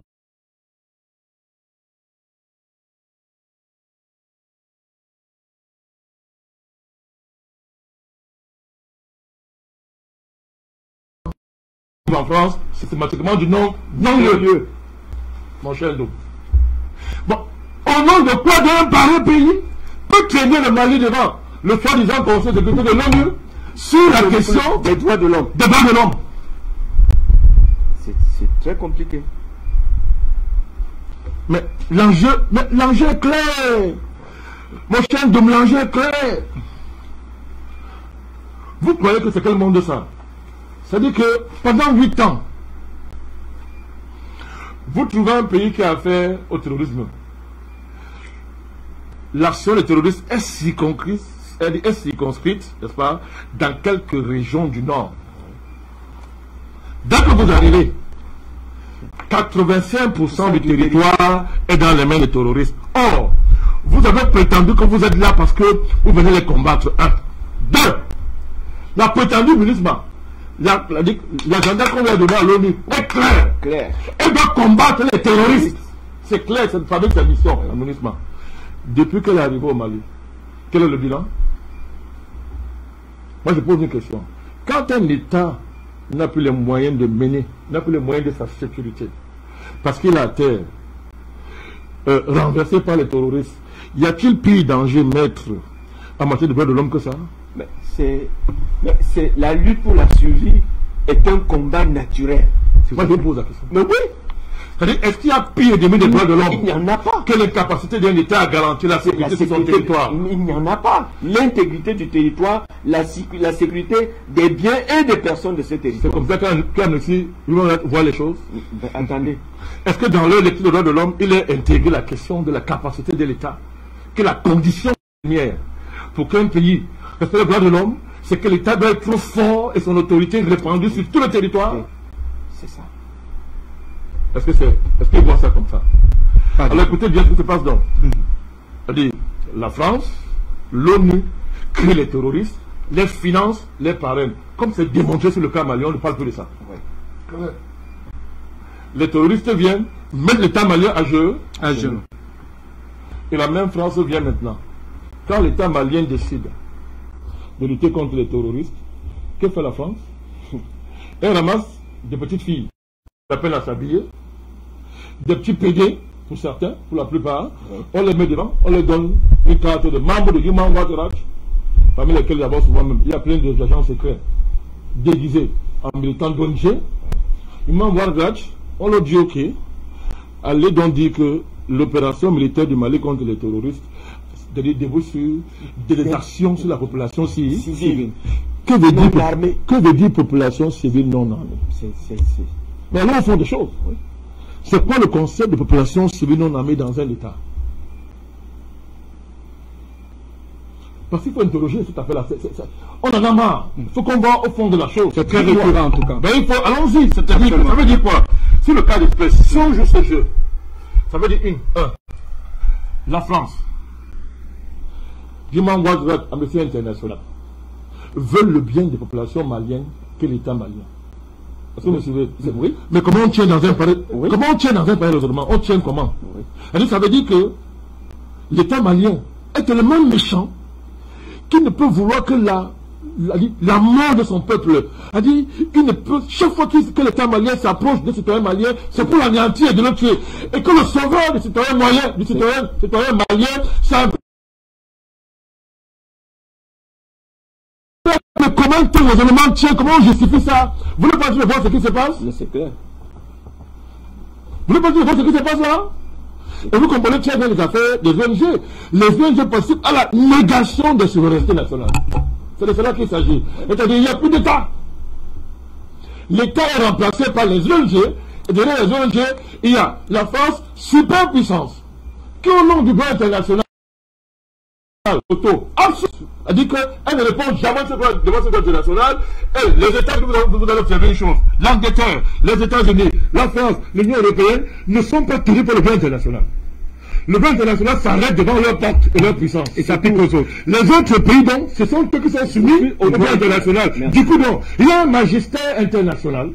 Il y a, il y a, il y a, il y une hiérarchie au niveau mondial, n'est-ce pas, qui fait donc que vous avez des gens qui parlent matin, midi, soir de droit international. Matin, midi, soir, qui l'ont écrit, l'ont élaboré, et qui ne sont pas concernés par ce droit international. Ils tuent ils violent, ils volent, ils égorgent, ils massacrent, ils génocident. Quand ils génocident, ce n'est pas un génocide. Quand ils tuent, ils n'ont pas tué. Quand ils violent, ils n'ont pas violé. Quand ils égorgent, ils n'ont pas égorgé. Ils civilisent. Ils démocratisent. Ils ont le permis de chasse. Oh, ben, tu as tout résumé. C'est-à-dire, ils ont le permis de chasse. De chasse, c'est-à-dire qu'ils ont le permis de chasse. Ça dit que- tuer s'ils veulent. C'est-à-dire, c'est qu'ils veulent. Ils sont pas C'est. Oui. C'est normal, c'est normal. Oui. Mais quand un État s'élève pour justement faire son travail en tant qu'État, c'est-à-dire empêcher les crimes de ces gens, il devient un État qui viole les droits normal. de l'homme. Tel que défini par, par eux. Et c'est défini en secret. hein. C'est-à-dire c'est dans une réunion. C'est-à-dire qu'ils font une réunion. Au gars de Human Rights et d'Amnesty International, où ils disent que on appelle droit de l'homme pas ce qui est écrit dans la Charte des Nations Unies. Je, vous, je vous répète, allez lire la Charte des Nations Unies. Oui. Elle proclame, c'est pas vous et moi qui avons écrit ça, Non, que les droits de l'homme sont indivisibles. Tout à fait. On ne- donc, il n'y a pas de droits de l'homme politique sans droits sociaux, sans droits économiques, sans droits culturels. C'est eux qui écrit. Ils ne sont pas obligés d'écrire ça. Quand ça fait par les intérêts, ils mettent ça de côté. Ils réunissent les petits garçons, les petites filles. Ils ont fini de faire leur partouze, n'est-ce pas? Ils les réunissent là. Ils leur disent que droit de l'homme veut dire, que vous traquez les États, n'est-ce pas? Vous les traquez. Droit de l'homme veut dire que quand quelqu'un est arrêté par l'État, on a violé ce droit de l'homme. Peu importe qu'il ait combien de ou pas. Et dès qu'il est arrêté, ces droits de l'homme sont pas bafoués. Un terroriste qui est arrêté est un présumé innocent. Innocent. Innocent. Jusqu'à preuve de que- Ce qui est bizarre, c'est quoi? C'est que celui qui décide que ce terroriste n'en est pas un, c'est même l'État qui suit le terrorisme, mais c'est la communauté internationale. Autoproclamé. C'est elle qui vient dire que le type est un terroriste. Celui-ci n'est pas un terroriste. Mais on est où là? Ce n'est que légitime, c'est c'est eux les. Mais non, demande, on est où?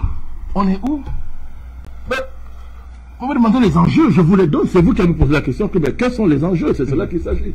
Donc chaque fois que l'Occident dit droit de l'homme, les morts doivent se réveiller. Quand l'Occident parle de droits de l'homme, les morts doivent se réveiller parce que les vrais droits de l'homme vont trépasser. Oui. Le droit à la sécurité, qui est le droit des autres droits. La sécurité. La capacité d'un État à maintenir l'ordre sur son territoire. Oui. Mon cher. Ça, c'est la, c'est-à-dire que ça, c'est la mère des droits de l'homme. Puisque c'est l'élément principal de, la souveraineté. C'est-à-dire, à partir du moment, à partir du moment où moi et toi, où chacun, moi et toi, on peut passer dans deux justices, Oui. c'est l'État. C'est l'État. Effectivement, que c'est ça, c'est ça.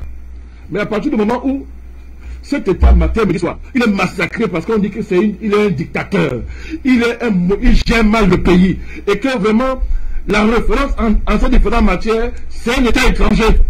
C'est une puissance, c'est-à-dire la France, ou les États- ou- ou les États-Unis, ou l'Angleterre. Ce sont tous ceux qui sont de réfé- référence. Ils ne veulent pas, ces pays-là, il n'y a, pas. Prenez le cas des, Américains, des Américains, de l'Amérique, mon, mon- mon- mon cher maître. Est-ce que les gens se rendent compte que l'Amérique, c'est une démocratie Ils s'appellent démocratie, non? Est-ce qu'ils disent non? Ils ne le sont pas, nous le savons. Ce sont des criminocraties. Mais prenons le mot. Démocratie carcérale. Vous connaissez la situation des prisons aux États-Unis? Quand on fait le ratio entre la population américaine et les personnes qui sont en prison, la- l'Amérique est un scandale. ouais. Je dis bien démocratie carcérale. C'est clair. C'est un scandale. La fin de la- des prisons aux États-Unis et la population carcérale, c'est le scandale des scandales dans le monde. Mais vous n'avez jamais vu un monsieur aller, aller, aller enquêter dessus? Jamais. Quand quand dit ça, vous me regardez, vous, vous êtes même surpris, non? Mais ce n'est pas un débat public. Il y a l'impasse dessus. On n'en parle pas. Parce que nous avons tous un préjugé. On est né avec ça. Dès qu'on dit Amérique, c'est la démocratie. Quand on dit France, c'est la démocratie. Dès qu'on dit, on ne réfléchit plus. On ne raisonne plus. On sait, ce pays, il n'y a pas dans le monde des pays où les droits de l'homme sont le plus bafoués que ce pays-là. Tout à fait. Alors pourquoi? Parce que les pays africains n'ont pas encore des ONG qui vont enquêter chez ces pays-là. C'est ça. C'est tout ce qu'il nous faut. Et ils ne peuvent même pas permettre. Parce que nous laissons faire. Mais c'est tout. Nous laissons faire. Oui. Parce que le jour où les pays africains disent nos ONG, nos ONG, tout à je n'ai pas compris. Il dit que Human Rights et Console ne sont pas des ONG, ce sont des organisations gouvernementales. Oui, non, Non, déclaré. non déclaré. Vous croyez que c'est la blague hein? Oui, ouais. C'est pas la blague. C'est comme vous prenez pour la blague le fait que euh, euh, euh, RFI 124 soit des organes directs de la diplomatie française. Oui, du Quai d'Orsay. Et les Africains n'arrivent pas à accepter que ce ne sont pas des médias indépendants. Les Africains refusent ça. Oui. Ils continuent à que RFI, 124 sont des médias libres. Ce sont des médias d'État. Mais qu'est-ce qu'on va faire pour que ça entre dans la tête des Africains C'est ça. C'est pareil pour les ONG. Oui. Vous parlez quand on dit ONG, organisation non gouvernementale, c'est vrai? Mais, euh, L'histoire qui est dirigée par M. Mognon, oui. un autre petit criminel, Oui. en veste et en costume, Oui. le NDI, Oui. je- c'est financé par la CIA. C'est tout. C'est un instrument de guerre. Mais qu'est-ce qu'on va faire? Et le patron était un ancien président Mais américain. c'est dit qu'ils ils ne le savent pas mettre. Oui. C'est l'organe de l'État américain. Oui. Bon. Il l'a prouvé ici au Cameroun. Alors, quand les Africains auront des ONG gouvernementales, on ne le cache pas, et que c'est à partir de leur rapport que l'on va traiter avec les Français, avec un pays occidental, vous verrez que les choses vont changer. On aura, on aura C'est grandi. de- c'est de cela qu'il s'agit. Et dans le monde aujourd'hui, les conditions sont réunies pour ça. L'enjeu de l'Ukraine, c'est quoi Vous voyez que la, la guerre de l'Ukraine, c'est quoi Ouais. Le nouveau monde. Mais encore qu'il faut être capable d'y entrer, d'y entrer, d'y entrer, Oui. et de s'adapter. De s'adapter dans ce nouveau monde. C'est-à-dire qu'on est en train de comprendre comment aujourd'hui, un truc comme l'amonisme peut encore être au Mali. Il faut le chasser. Ils ont Vraiment et simplement. jusqu'à Jean pour partir. Écoutez-moi bien, laissez-moi parler. hein. Je vais de terminer. Je vais dire monsieur comment j'entends. C'est-à-dire qu'il faut faire la guerre. Il faut prendre les armes, les pourchasser, tirer sur eux. Quelle a fait que les choses changent C'est parce que vous respectez la sacralité de l'ONU. Vous place, avez peur de l'ONU. Quand vous voyez on n'a pas de l'ONU. toi, Qui a détruit la Libye avec une résolution? Il y a un Côte d'Ivoire. C'est-à-dire que juste aujourd'hui, malgré la Libye, Oui. malgré la Côte d'Ivoire, malgré la Syrie, les Africains continuent à croire que les casques bleus là, ce sont des casques pour la paix. 60 ans au Congo, en République Du démocratique. Congo du partout. avec le- Tant que, je vous dis, hein, c'est ça l'avenir. C'est ça l'avenir. Et vous allez contourner. On contourne, on contourne. Les Africains africains vont être coincés maintenant là. Comme ils sont coincés à la fin de l'Ukraine, maintenant ils sont obligés de prendre de vraies positions. Quand on parlait il y a 10 ans, on n'écoutait pas. Maintenant ils sont obligés de prendre de vraies positions et c'est déjà bien. C'est c'est un début. Mais c'est pas encore ça. Ils n'ont même pas encore fait les, c'est-à-dire le vrai pas. Ce n'est que le début. C'est bien. Mais je vous assure, tant qu'un État africain ne fera pas la guerre à un contingent de l'ONU, les choses, les choses- les choses ne, ne changeront pas. Il s'agit de les chasser comme des chiens de nos pays. Je me dis mes mots, hein. Je suis très sérieux. Parce que regardez, vous voyez ce qui se passe au Mali L'alliance MINUSMA-France, c'est quoi? C'est pas la protection des terroristes? Mais c'est tout. Il y a quoi de bas Mais c'est tout. Il servent à quoi? Les terroristes qu'ils ont fabriqués. Bien sûr Les fabriques, les- Tout ça, c'est pour protéger les terroristes témoignage sur Mais c'est ça l'enjeu C'est ça l'enjeu On protège ces gars, protège les terroristes. Et c'est pas les qui font ça. À chaque fois dans le monde où un État est levé pour en finir avec les terroristes, il a eu affaire à l'ONU, il a eu affaire aux États-Unis, à la France, à l'Union Européenne et à l'Angleterre. Tous On parle de quoi? Au même moment, C'est ça l'enjeu au Mali? C'est ce qui se passe là. Ils protègent les. C'est ne sont pas les armées. On ne sait pas d'où ils viennent. Vous parlez de quoi? Même si on parle depuis l'Algérie, la guerre c'est bien algérienne. Mais qui finançait le- Il vient d'où C'est pour le point islamique Mais bien sûr. L'argent venait d'où Mais c'est ça. L'argent venait d'où Mais comment De Du l'Occident Qatar Oui. Saoudite Oui. Mais, Mais ils, ils transportaient Mais ça le Cap. Oui. même que de quel pays. De la France Tantôt. Et après, ils n'ont même plus caché. Oh, ils ont transporté les, les armées depuis les, les, les, les, les, les, les, les- les- comment on dit ça les, les, les théâtres syriens. Ils ont transporté pour amener en fait. Et après, la Libye, ils ont transporté pour amener dans le Sahel au vu au vu de tout le monde. Absolument. Au Mali. Il s'est posé la question de l'air Mais ce sont les armées privées. Ce sont les ministres, ce sont les mercenaires. Monsieur, il les protège. En manipulant le prétendu droit international, International. Les Africains refusent d'avoir les couilles, permettez-moi l'expression. Les États africains refusent d'être des États. On ne s'en sortira pas. Nous sommes en guerre contre les forces onusiennes. C'est nos ennemis. On en guerre contre eux. Dans ma thèse est claire. Il faut les chasser du Mali. Dès le sein là, quand le mandat est fini, ça veut dire que sur le plan de la diplomatie, le mandat est terminé. On les chasse. Sinon, on les traite comme des terroristes. Et donc voilà ce qu'on va faire au Mali. Le Mali a fait des alliances militaires. Avec la Russie et la Chine. Alors aujourd'hui, on l'a vu jeudi aujourd'hui, dernier, président. monsieur, elle a des possibilités Tout à fait. en termes de rapport de force. Rapport de force. Que Parce que frappe- le droit international, ce sont les rapports de force. Oui. De force. Il n'y a C'est pas de. Ça n'existe pas. Ça- C'est une Le. Mali a maintenant les capacités d'écrire le droit selon son, les intérêts de son pays. De son pays. Donc, à partir du moment où l'accord de siège, ils connaissent ça, c'est des sièges, Oui. qui permet que l'aménagement fonctionne au Mali. Mali. Quand ça prend fin, on compte quelques jours, Oui. on compte quelques mois, Oui. je connais ça, on, on- on- on- on appelle ça un temps de probation. Quand le temps là est épuisé, il faut les traiter comme des terroristes. C'est le seul langage chez moi écouté. D'accord. Et il va de l'intérêt supérieur du Mali. Absolument. Merci à vous, Président Mbadakani, pour euh, ce brillant exposé qui nous permet de comprendre donc au mieux les enjeux autour de cette opération militaire menée donc par les FAMA du côté donc de Moura, une action qui a d'ailleurs euh, réussi à restaurer non seulement l'autori- l'autorité de l'État, j'y arrive, mais surtout de ramener la quiétude dans cette partie du Mali. Euh, J'ai failli dire Président Mbadakani, mais euh, euh, un moment, on, vous écoute avant cette fois-là d'ouvrir l'antenne à nos téléspectateurs qui se bousculent. Président, vous avez d'ailleurs beaucoup de félicitations sur la page, euh, le, feed d'actualité Facebook, beaucoup qui euh, s'identifient, mais surtout à- à- sont d'ailleurs très, très, très dithyrambiques à, à- à- à la suite de, votre exposé. Alors, Maître Momo, on la suite, donc les enjeux sont clairs. Il faut donc absolument éradiquer euh, euh, notamment eh bien, le terrorisme, mais surtout notamment tout ce qui euh, accompagne euh, euh, cette dynamique insurrectionnelle montée euh, de, de, toutes pièces, notamment par euh, la France, disons-le clairement, pour déstabiliser le Mali, mais surtout pour euh, faire mm, mm, davantage justifier en tout cas le narratif qui a été euh, lancé au lendemain, notamment de la volonté des autorités de, la transition, de faire partir notamment eh bien, le, le contingent MINUSMA. Il avait été dit que le Mali connaîtra eh bien, les pages sombres de son histoire sur, euh, euh, sur le plan sécuritaire. Aujourd'hui, eh bien, les faits sont en train de, de, donner, euh, de démentir, on va dire, de donner du, tort, en tout cas, à, à, ce narratif-là, puisque les FAMA sont en train de reconquérir absolument le territoire malien, ce qui laisse croire aujourd'hui, notamment, eh bien, que cette musulmane-là n'était pas pour le bien du Mali. On l'a démontré sur ce plateau, maintenant. Alors, vous devez comprendre une chose, Monsieur Doum, que le Mali est un théâtre de la conspiration internationale. Pourquoi conspirer contre le Mali? Premier objectif, c'était de happer les richesses de ce pays. Ils ne sont pas au Mali pour des œuvres de bienfaisance. Non. C'est parce que le sous-sol malien garantit tout acte qui peut être posé dans le sens de, la, de sauvegarder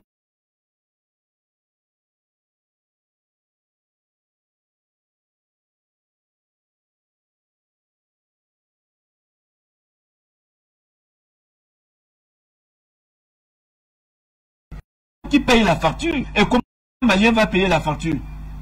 Mais ils vont vous dire, vous n'avez pas de l'argent, vous êtes le 173e État le plus pauvre de la, de, de- de la planète, nous allons exploiter un pan de richesse pour combler la, la grande facture de la guerre.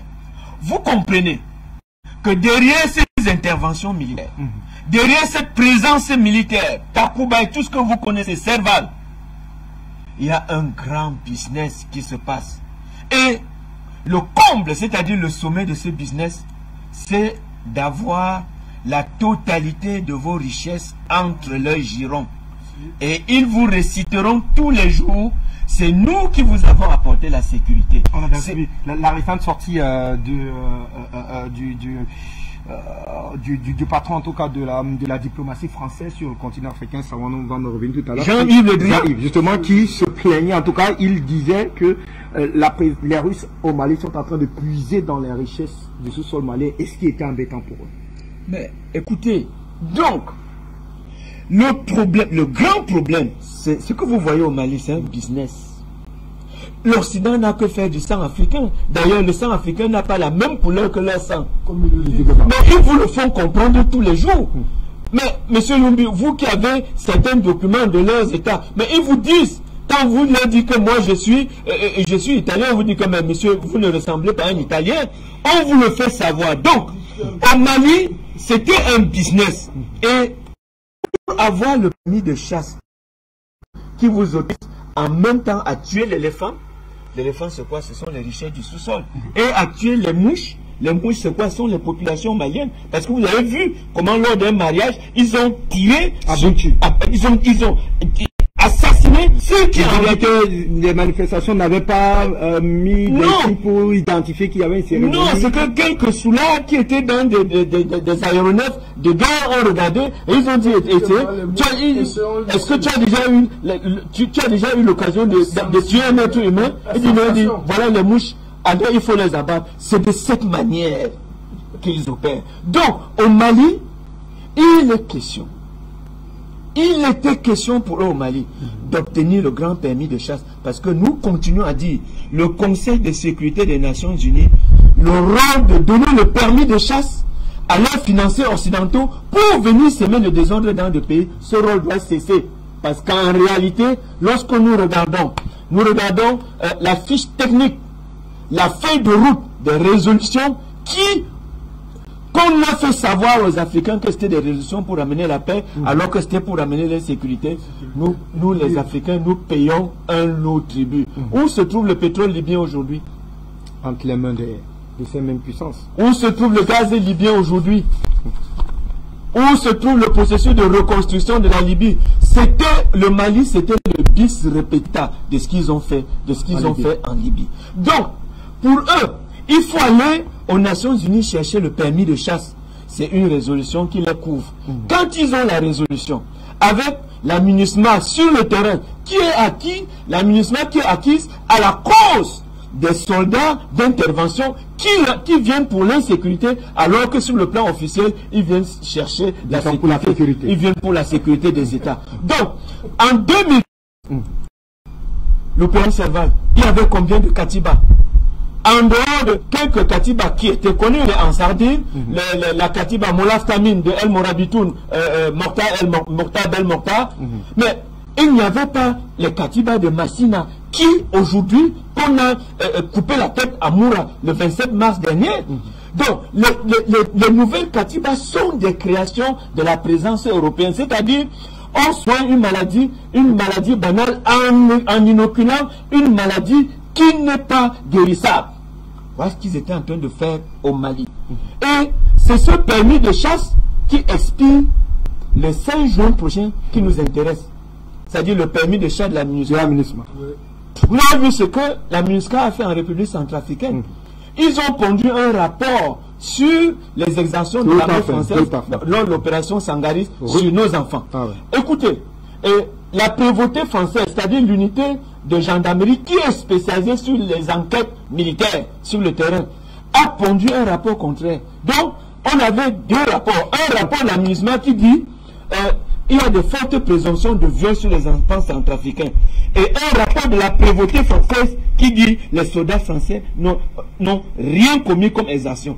Alors, l'affaire a été transportée au parquet de Paris. Tout à fait. Malgré les feuilles de chou de la MINUSCA qui disait qu'il y avait de fortes présomptions de viol sur les enfants centrafricains. Non lieu. Le parquet de Paris a dit non lieu. Qu'est-ce que cela veut dire? C'est un grand message.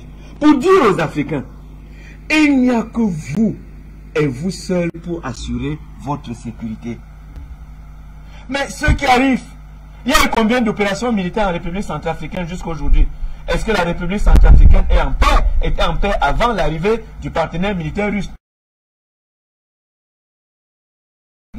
Parce que les mouvements rebelles se créaient au jour le jour, exactement comme les Katibas se multipliaient au qui sont là. Oui.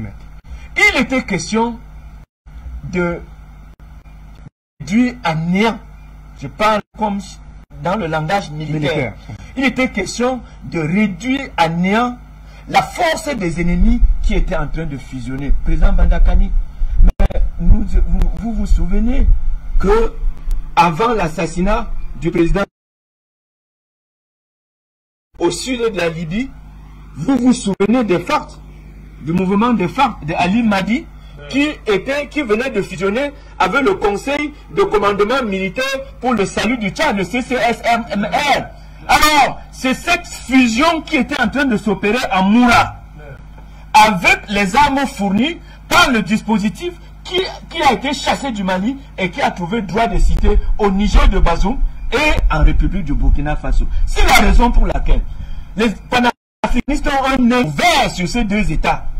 Nous voulons voir comment ils vont apporter l'insécurité en République du Mali. Parce que à Moura, c'est de cela qu'il s'agissait.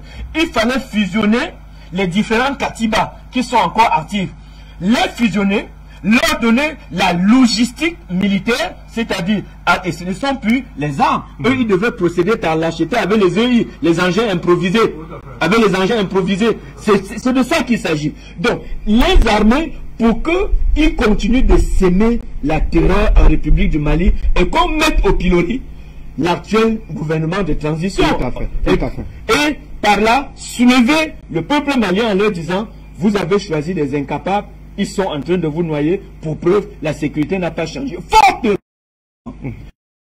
Avec la clairance et des autres membres de la transition, l'entouloupe a été su. Et ils les ont piégés.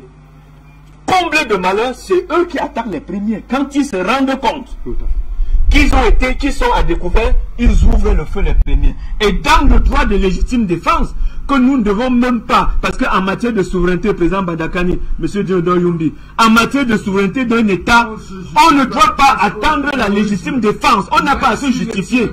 Parce que c'est un droit régalien. Mon frère, Oui, mon frère. le, le massacre de Bounty, Voilà. quand l'ONU, avec ses enquêtes bidons-là, Oui. a, co- a- a constaté que c'est la France, on, a- on a tiré sur les civils.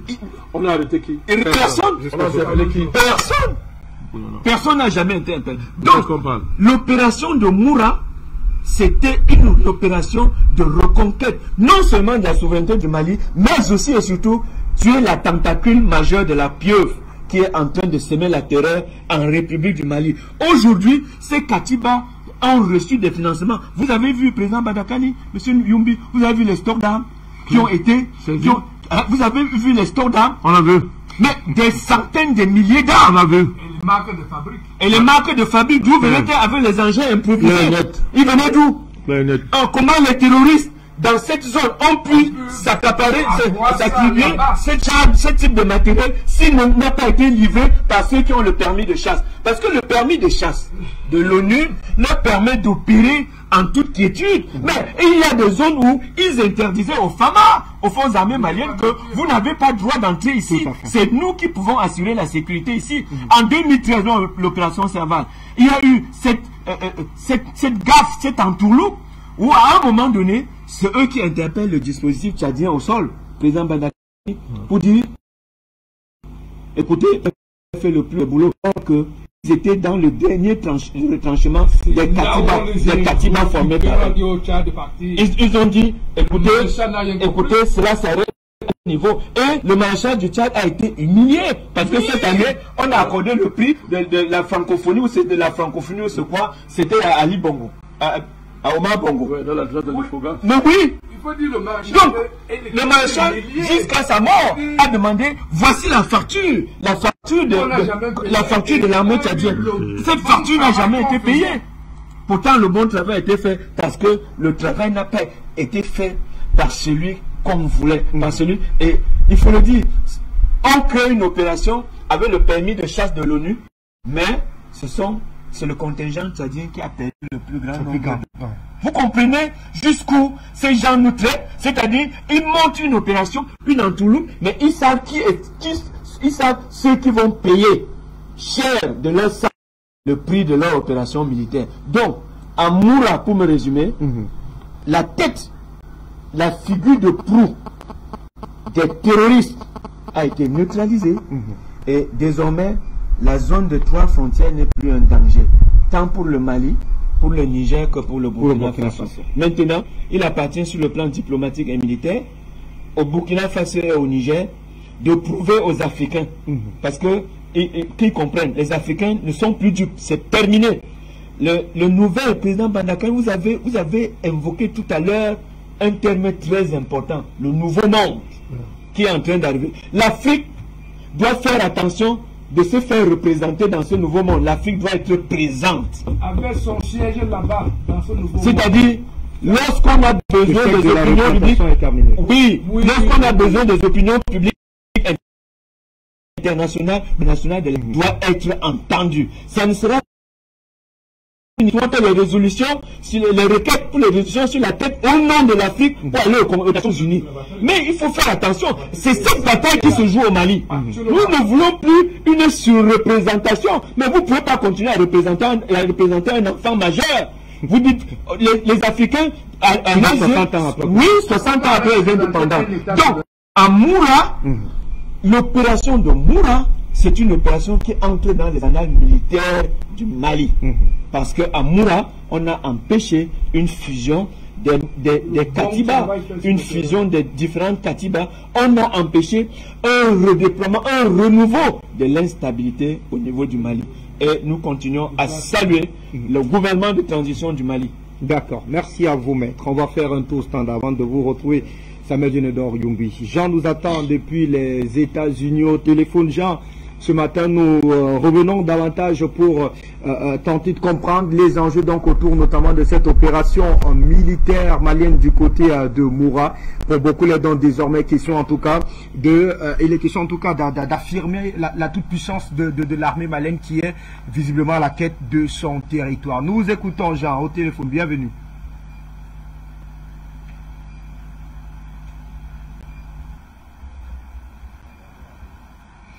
Jean, bonsoir, bienvenue.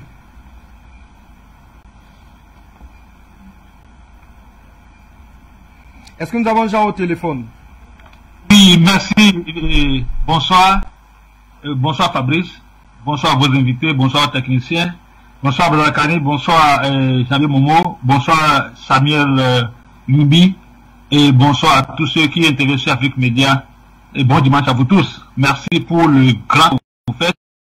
Nous félicitons l'armée malienne avec tous ceux qui coopèrent dans le sens humain avec l'armée malienne pour sa souveraineté et nous les félicitons. Ce n'est pas facile de faire le bien et qu'ils ne soient pas découragés. La lutte n'est pas à eux seuls, à, à ces militaires seuls, aux Maliens seuls. Comme ils peuvent le voir, c'est toute l'Afrique. Parce que notre dignité est vraiment en jeu. Merci à tous, euh, merci euh, euh, à vos invités. Et tout, euh, vous voyez, tout ce que vous venez de dire, vous avez bien développé. Vos invités ont bien développé. Vous les félicitons. L'oreille qui va écouter n'a pas besoin d'être très, très longue avant d'écouter. Que les Africains, que l'esprit de compréhension et de prévoyance éclaire les Africains et chasse cet esprit obscur que l'ennemi a semé dans leurs esprits. Ils ne peuvent pas comprendre, ils ne font que défendre le mal. Que la lumière divine les éclaire pour qu'ils comprennent. Parce que quand on comprend, on vit, on agit. Alors, vous venez, vos invités ont parlé des choses visibles et à l'œil nu. Il y a d'autres choses qui sont invisibles par l'œil humain, qui, qui se passent derrière.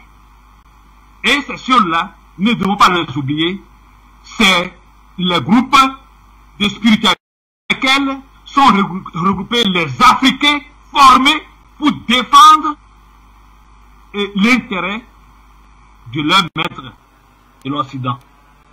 Alors, c'est quoi? Il y a deux groupes. Il y a le groupe anglo-saxon et le groupe de, euh, de, euh, euh, de- de la France. C'est les loges maçonniques, les Illuminati. Alors, tous ceux-là, tous les gens qui sont dans ces groupes, leur fait comprendre que pour accéder au pouvoir, ils doivent s'associer à eux pour vivre du pouvoir. Et vivre le pouvoir veut dire vivre de l'argent. Vous allez, voir que tous ceux qui défendent l'argent, ça ce sont les économistes, ce sont les soi-disant hommes de droit et consorts, alors qu'ils ne, ne sont pas. Vous qui êtes sur le plateau, vous êtes les, les- vous, vous faites partie de- des vrais défenseurs des droits de l'homme. Vous vous l'avez démontré. C'est pourquoi je disais merci pour vous. Alors, nous disons, à nous lancer un appel sincère et humain à ceux les Africains qui appartiennent à ces groupes, à ces loges maçonniques, de voir les dommages qu'ils ont causés à l'Afrique jusqu'à présent. De, se regrouper, de se, euh, euh, de, se reculer pour, pour voir la nouvelle vision, la vision humaine, la vision divine. qui doit s'installer et qui s'installe aujourd'hui, d'avoir le courage de tourner dos à l'Occident. C'est un appel que nous leur lançons. Il n'est pas trop tard, parce que l'homme que nous sommes, nous sommes divers. Nous sommes de, nous sommes de la chair et nous sommes de l'esprit. L'Occident, Lucifer travaille beaucoup sur l'esprit des Africains pour les dompter. Est-ce que vous pouvez m'expliquer ce qui fait que Ouattara en Côte d'Ivoire, il tue, il coupe la tête, on ne lui dit rien. Bazoum qui est au Niger, lui aussi, il, il, voit ce qu'il fait. On ne peut pas l'expliquer si on ne va pas dans la spiritualité. Ils sont, ils sont téléguidés. Ils ne peuvent que défendre, bail que bail, le droit de l'Occident. Vous, eh, vous, allez voir, il y a des gens qui viennent sur votre, sur qui se disent droit de l'homme. Ce sont les francs maçons. Vous allez voir, ils ne condamnent jamais l'Occident, ni la France du tout. Ce n'est pas une bonne nouvelle pour l'Afrique. Ils vont payer. Et vous allez voir, oui, ainsi, nous sommes en guerre que Dieu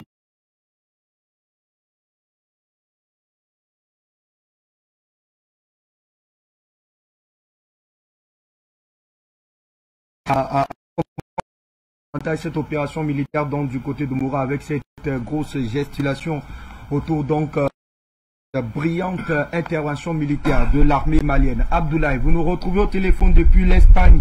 Bienvenue, votre contribution.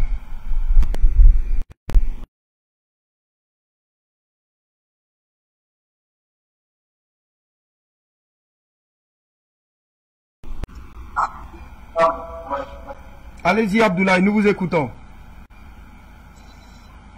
Oui, bonsoir M. Barakane, mon président. Je vous adore beaucoup.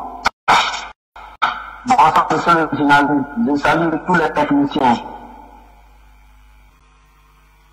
de l'émission. Bonsoir M. Barakane. Bonsoir monsieur le journaliste. Je salue tous les techniciens de l'émission. Vous voyez, soi-disant, il y a Emmanuel Mouraï parle de droits de l'homme. Ils étaient pendant que la frappe de Bounty, les civils qui sont tombés là-bas, on n'a pas la voix de quelqu'un. Pendant que les villages sont arrangés de la Mali, pendant que les civils sont égorgés, les femmes enceintes éventrées, les hommes tués, chassés de leur village, où étaient tous là. Aujourd'hui, ils vont nous parler des droits de l'homme. Tous ces gens qui sont tombés là, ils n'ont pas de droits on parle des droits de l'homme. Tous ces gens-là qui sont tués là, ils n'ont pas de droits et direct que l'armée malienne allait attaquer nos là. C'est bien que mais là, c'était la, la, capitale des terroristes au Mali. C'est que en vrai capitale, on dit derrière capitale même des terroristes au Mali? A des armes qui sont sorties là-bas, soit disant que les civils tués noirs Hein? Ils arrêtent, ils arrêtent les routes fatigués. Nous, on soutient l'armée malienne 100%. Moi, je t'appelle depuis l'Espagne. Nous, on est l'armée malienne. On soutient Assimi Goïta, président de la République. Moi, je n'appelle pas ça un président de transition. Moi, j'appelle ça président de la République. Parce que cet homme-là était légitimé par le peuple africain. Je ne dis pas peuple malien, je dis peuple africain. On est derrière lui. on va le protéger. Quiconque, quiconque le cheveu de Assimi Goïta, il va avoir affaire à nous, le peuple africain. Donc, je soutiens l'armée malienne, je dis bravo l'armée malienne, je dis bravo le, pour le peuple africain qui soutient ce but-là. Que Dieu bénisse l'Afrique, que Dieu bénisse le Mali, que Dieu bénisse Asmo Goïta. Je vous dis merci. Vous disons merci pour votre contribution au standard. On prend quelle direction cette fois-là, Adrien Allez, on revient au Cameroun pour euh, accueillir donc cet appelant. Bonsoir, bienvenue, votre contribution.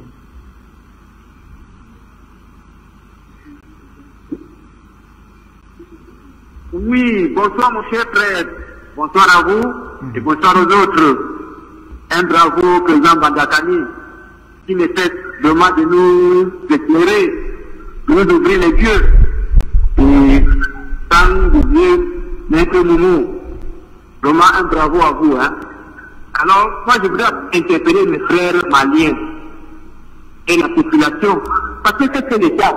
L'État, c'est la population qui remet à un État de pouvoir contrôler et aider la population. Donc la souveraineté d'un pays,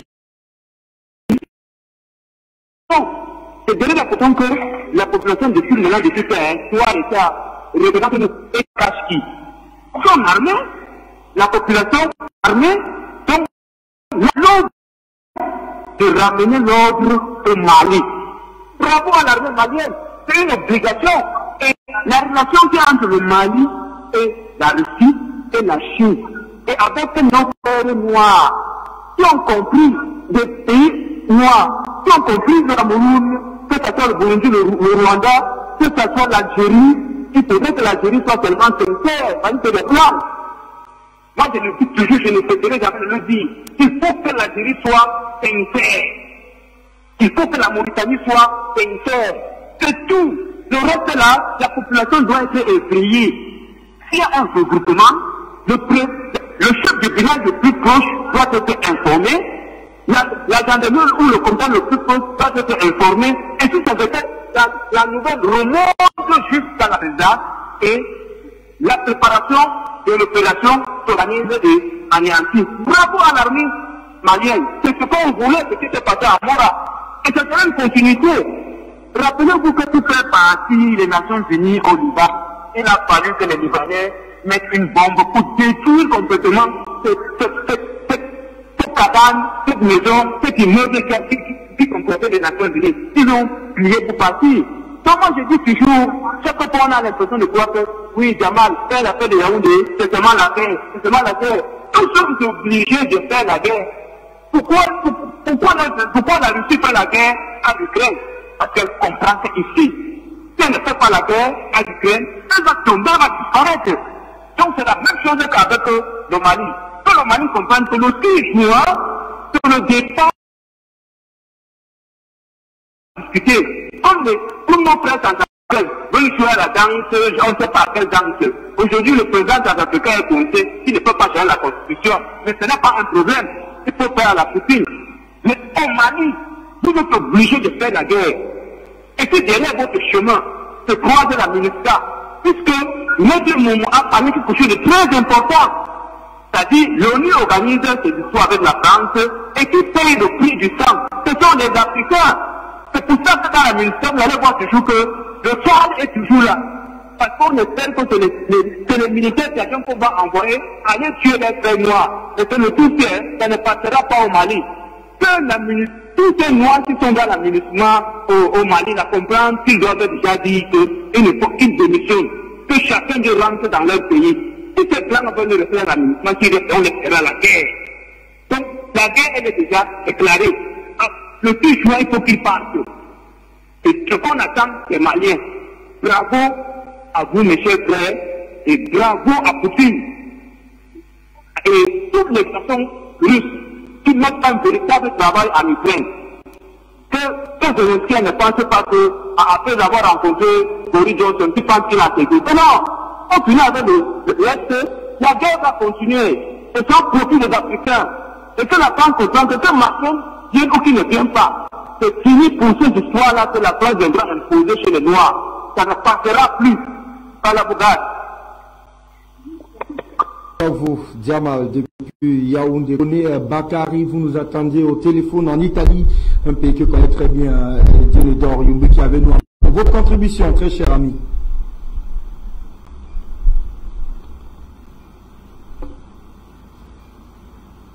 Kone Bakari, bonsoir, bienvenue.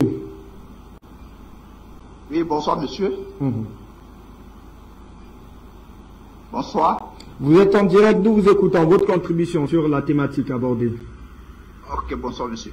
Mmh. Et je salue à toute l'équipe euh, d'Afrique Média et monsieur Badakadi surtout, que j'admire précisément. Et, et avec toute l'équipe, hein, je remercie toute l'équipe euh, d'Afrique Média. Et, pour euh, cette intervention, vraiment, je veux dire euh, un petit mot à, la population malienne qui tenait dur. Parce que tous nous voyons le complot de l'Occident et qu'ils sont en train de préparer. Donc, euh, il va falloir mobiliser, comme vous le faites, bien sûr, mobiliser encore davantage le peuple africain pour que la jeunesse surtout s'éveille et voit ce que l'Occident est en train de préparer pour déstabiliser le Mali. Et encore dire euh, au président, moi je dirais pas la gente, je dis le président malien et son équipe, de faire très attention et de, tenir dur comme ils l'ont toujours fait et de ne surtout pas renouveler le mandat de euh, le mandat de, de la MINUSMA. De tout faire pour empêcher le renouvellement du mandat de la MINUSMA et que les Maliens ne doivent pas et la jeunesse africaine ne doit pas baisser le bras et doivent soutenir le Mali, chacun à sa manière de soutenir le Mali et l'Afrique en particulier. C'est ce que je voulais ajouter. Allô? Bakary, pour votre contribution, est-ce qu'on a un dernier appelant au standard, Adrien? Allez, on va donc terminer avec cet appelant au standard. Bienvenue, bonsoir. Vous êtes en direct, monsieur. Nous vous écoutons. Votre contribution.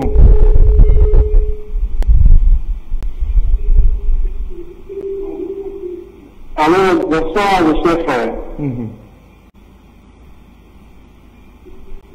Allô Allez-y, nous vous écoutons, votre contribution, vous êtes en direct. Ok, ok, ok. Mm. D'accord. Bonsoir, bonsoir, monsieur frère. Oh. D'accord. Euh, je, dis un grand bonsoir à tous les panels, à tous les invités et d'abord, je dis merci à Afrique Média. Euh, le Mali sera, sera debout. Quel qu'en soit le cas, le Mali sera debout. Et je suis un grand coup de chapeau au président de la Russie, au président Poutine, de, ce soutien qu'il est en train de faire à l'Afrique. Nous serions toujours derrière l'Afrique et derrière la Russie et, la Chine. Bravo et bravo et bravo encore à le président Bandakani. Merci beaucoup.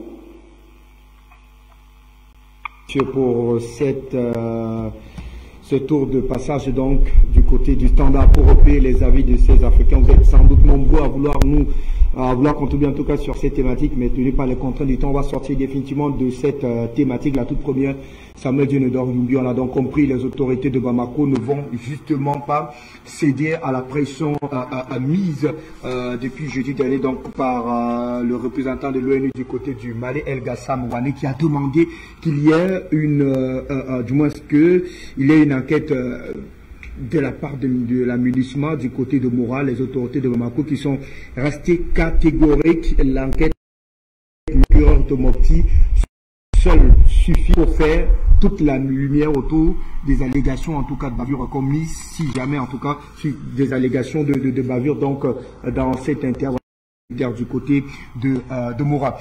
Il est clair désormais, le rôle de force, il est quasiment établi, on l'a démontré, on l'a dit sur ce plateau, euh, sur cette thématique, le Mali qui reste donc effectivement un État souverain qui va assumer sa, son indépendance, on va dire, sécuritaire. Oui, monsieur Ndom, avant de répondre à, cette, à votre question, je, nous avons, j'ai les, les copains sont discutés euh, sur la souveraineté par rapport euh, aussi surtout les actes qui ont été commis par, par, l'armée française et, certaines organisations sur place. Vous voyez, la charte de, de l'impérialisme nous dit dans l'article 28, les dirigeants des puissances occidentales ne peuvent être poursuivis, arrêtés, ni incarcérés par les cours et les tribunaux de l'ONU, même s'ils commettent des crimes de guerre, des génocides ou des crimes contre l'humanité. Ceci nous interpelle tout simplement de le savoir. Voilà pourquoi euh, il n'y a jamais eu un débat au niveau des Nations Unies pour condamner les exactions qui ont été faites, perpétrées dans tous ces, dans les États, surtout africains du tiers-monde. Donc aujourd'hui, que le Mali prenne cet affront qui n'est pas un affront euh, de, persuasion, mais juste un sens de sa responsabilité souveraine de dire les actes qui ont été commis ici, connaissant déjà ce que la charte avait déjà précisé, ça veut dire nous n'allons plus tomber dans ce que 60 ans plus tard, avez aliéné avec, et grâce à M. Poutine, qui a fait un éveil de conscience, qui a remis à tous les Africains cette dynamique de reconnaître ses propres européens africains, de reconnaître que vous, êtes des pays puissants et vous êtes des pays souverains. Nul ne doit vous influencer. Chose qu'auparavant, nous étions tellement aliénés et influençables, tout simplement parce qu'on ne prenait pas, on n'avait pas un grand frère potentiel. Vous savez, quand le petit frère soit effrayé, c'est parce qu'il n'a pas un grand frère. Mais quand il a un grand frère potentiel, même quand il marche au quartier, il est fort.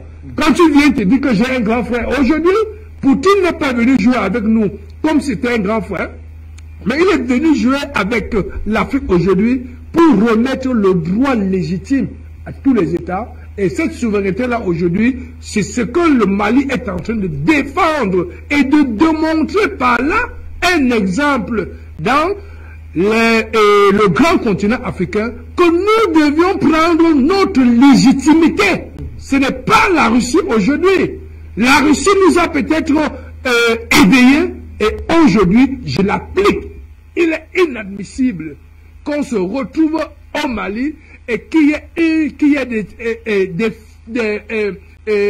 des fausses communications, des informations fausses, et que c'est d'autres pays qui devront faire les enquêtes sur notre territoire. C'est pour nous ralentir, c'est pour chercher à ralentir le Mali, et quelque part, comme a dit le copanéliste Maître, Momo aujourd'hui, si l'histoire de Mora avec, avait marché, aujourd'hui, c'est les Nations Unies qui devaient, les forces militaires qui devaient rester encore sur place. Et donc aujourd'hui, c'était pour, pour rallonger, parce que c'était à court, qui va finir. Aujourd'hui, disent non, il faut quelque part une enquête, cette enquête, un État souverain a le droit et la responsabilité morale intellectuel, juridique, de pouvoir mener une enquête parce qu'il y a une exaction sur son terrain. Si ça, ils qu'elle est vraie, elles vont punir les fautifs. S'ils savaient qu'elle est fausse, comme nous savons déjà qu'elle est fausse, parce que ces populations qui ont souffert depuis plus de, plus de 60 ans, qui ne voulaient que la paix, qui ne voulaient que vivre, on a vu comment ils ont été matérialisés, on a vu comment ils ont été traités, bombardés, et, chasser de, leur territoire. Aujourd'hui qu'ils reviennent, ce n'est pas cette armée malienne qui va encore se permettre de, faire des exactions. Donc ça veut dire le rapport que le procureur de Mopti a si bien dit, qui fait son rapport et que les autorités maliennes ont dit, nous allons à la fin de, euh, rapports faire, et, à, la, fin des rapports faire une conclusion. Et cette conclusion, nous savons que c'est une conclusion souveraine pour le bien-être des populations maliennes. Mais ce qui se cache aujourd'hui, que je profite encore de l'occasion sur le plateau Afrique Média pour interpeller la jeunesse africaine. Chère jeunesse, telle que vous êtes scotchés devant vos télévisions, vous nous regardez, les aînés, nous sommes là, ça fait une décennie, pour vous éveiller la conscience, pour vous édifier. Aujourd'hui, ce que nous sommes en train de vivre, c'est un triangle, comment, ça, comment je peux mieux expliquer ça? Les Occidentaux sont en train de vouloir jouer un triangle et que si nous ne sommes pas vigilants, c'est nous qu'on nous allons nous accuser nous-mêmes encore.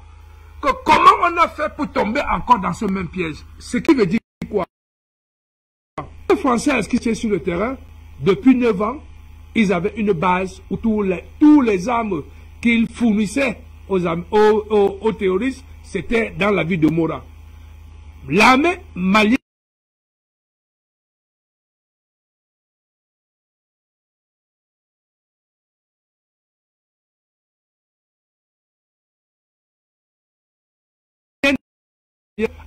c'est un problème panafricain. Finalement, les populations ont eu, nous avons eu raison. L'armée balkane française, elle se retire mais en se retirant, c'est tout simplement parce que nous avions donné ce soutien moral-là, politique, à, au gouvernement de faire appel à un pays voisin et que ce pays, ce, grand pays qui est arrivé, ce qui était la Russie, l'armée française nous dit si le Mali appelle un pays d'étrangers pour s'aimer, pour faire une relation, elle, elle se retire. Quel chantage Je vous interpelle, chers jeunesse panafricaine. Mais nous n'avions pas obtempéré. Le Mali est allé tout droit faire venir cette Russie. C'est la Russie qui nous donne les armes aujourd'hui. Ces armes-là, ce n'est pas fait pour tuer les populations maliennes, c'est pour tuer les terroristes qu'eux-mêmes ils ont fabriqués. Voici où le triangle que je vous explique, que vous devez mieux, mieux, mieux, mieux, comprendre. Arrivé dans Mora, on se rend compte que c'est une réunion des chefs terroristes qui veulent encore revenir dans le Mali terrorisé sur l'anecdote dont la France, par M. Jean-Yves Le Grian, disait quand la France sortira du Mali, il n'y aura qu'un désastre. Donc, le désastre était préparé. Parce qu'on dit bien, l'interprétation des mots que l'Occident, ce grand empire, l'action. Le Mali qui a pris les taureaux par les cônes, atterrit sur les renseignements grâce au matériel militaire, vient d'éliminer tout, presque 240 terroristes. Aujourd'hui, c'est la France là qui est en train de revenir pour dire il faut des enquêtes parce qu'on a fait des actions sur les populations civiles. Les populations civiles avaient une arme, n'est plus une population civile. Quand tu détiens une arme en ce, en ce champ de guerre, en ce champ, dans le désert, tu as une arme.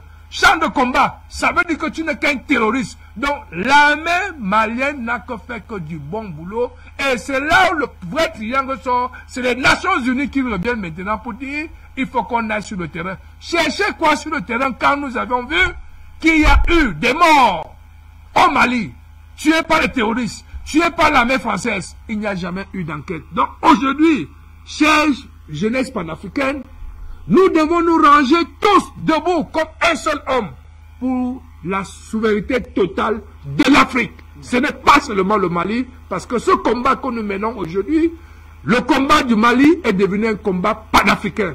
Dieu a voulu que ça commence par le Mali, par la Centrafrique, et le Mali, aujourd'hui, a pris toute la souveraineté totale qu'il faut, monsieur Ndom. Aujourd'hui, nous pouvons aujourd'hui en être fiers que tout ce que nous sommes en train de dire sur ce plateau est grâce à ces patriarches que je ne manquerai toujours pas de remercier le, le, le patriarche euh, euh. Obiang, euh, Obiang de la Guinée équatoriale, et de son excellence M. Paul Biya, qui ont compris la quinquessence d'apporter un outil, un instrument en acceptant la chaîne Afrique Média qui est en train d'être 24 sur 24 sur les plateaux d'une fils africain pour combattre l'impérialisme qui nous a démontré comme quoi la règle de la démocratie elle est universelle et elle-même elle, n'applique pas cette démocratie envers ces pays mais nous devons l'appliquer. Nous disons non, parce que nous le savons tous, depuis près de 60 ans, que l'Afrique a reçu cette indépendance dans le précaré français nous avons eu près de 25 chefs d'État qui sont assassinés. Aujourd'hui, nous ne pourrons plus jamais encore accepter, tout simplement parce qu'ils sont assassinés. Il y avait des babous sur le territoire africain. Qui ces babous C'est les Nations Unies qui envoient par les forces euh, euh, euh, par les forces militaires, la MINUSCA, la MONUSCO, la, la MUSMA, tout un tas de ces forces onusiennes sont le, le, repli de ces terroristes parce que ce sont eux qui amènent les armes pour les fournir avec sur place les ONG qui sont là pour apporter le traitement pour pouvoir détruire certaines régions par des pandémies et pour pouvoir enfin piller nos richesses. Mais nous l'avons compris aujourd'hui grâce à la lutte qui se passe en Ukraine, grâce à M. Poutine qui nous a démontré que l'Europe, soi-disant pays civilisé, voici l'exemple que je vous donne. C'est partager avec vous, échanger avec vous, faire des deals gagnant-gagnant parce que les Africains, nous en avons besoin, nous avons été aliénés. Donc aujourd'hui, ce qui se passe dans euh, ce que le procureur de Mopti a, a, a, a, pris comme euh, responsabilité, c'est une responsabilité juridique, dans le droit souverain du Mali.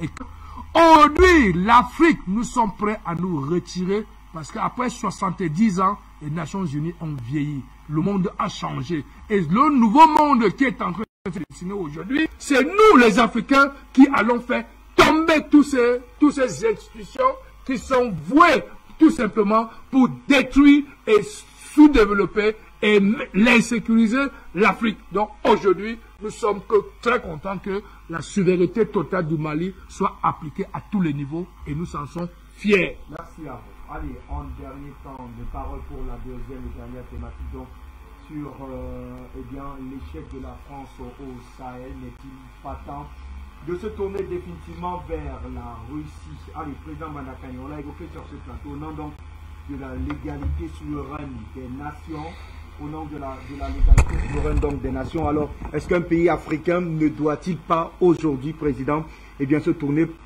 vers un autre pour avoir un partenaire militaire fiable, adéquat, avec donc cette montée, cette recrudescence en tout cas des frappes terroristes qui accablent nos États africains Mais on n'est plus à ce niveau.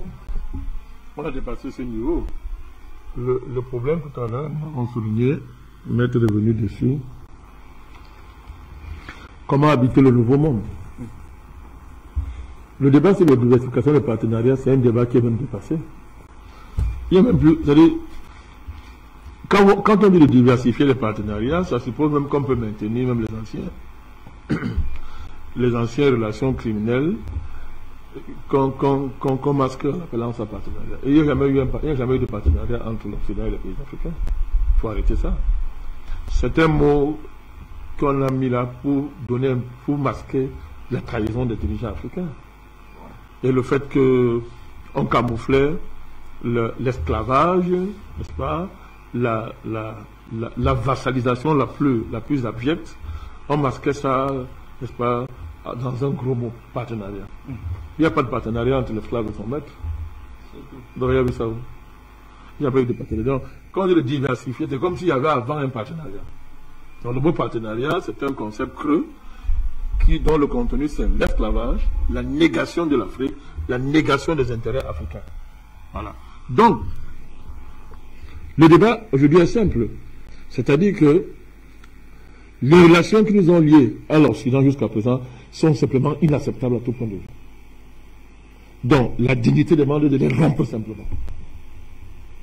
Il faut qu'on soit clair. Hein? C'est-à-dire que sur le plan économique, ça n'a rien apporté. Quand on fait le bilan de partenariat, c'est que les, gens ont le courage d'appeler partenariat entre l'Occident et l'Afrique. Ça apporte quoi? Ça, ça apporte quoi? Qu'est-ce que ça a apporté sur le plan économique Rien. La pauvreté de masse. Regardez les pays africains. Quand il y a des chocs, regardez les pays africains, on ne contrôle rien. On ne fixe pas le prix de ce que nous produisons, ni de ce que nous importons. Quand il y a les chocs, on ne met ça justement structurel. Les populations trinquent. Nous sommes, c'est-à-dire que, c'est, on appelle ça, quoi, c'est-à-dire que c'est le mythe des Sisyphe, c'est-à-dire qu'on est toujours en train de refaire la même chose, de ramasser le même caillou, le mettre au même endroit, il tombe, on, ramasse au même endroit, il tombe, il ramasse au même endroit, jusqu'au jour où le caillou nous écrase, le caillou nous écrase. Donc il faut arrêter ça, il n'y a pas de partenariat il n'y a pas eu de partenariat. Donc qu'est-ce qu'on diversifie? Qu'est-ce qu'on diversifie? Il faut pas masquer, c'est-à-dire que le débat, il est clair. Qu'est-ce que l'Occident a apporté au continent africain? Moi, peut-être, je pas la science refuse de montrer quoi? Alors, la, meilleure image qui niveau document, euh, c'est clair. C'est-à-dire, regarder la réaction des pays occidentaux euh, par rapport aux positions africaines sur le conflit ukrainien, sur l'opération spéciale militaire en Ukraine. Vous avez vu les réactions Il dit qu'il faut punir les pays africains qui ne sont pas... Quand vous dites, que vous êtes non alignés, ils considèrent que vous êtes alignés. Ils demandent de punir.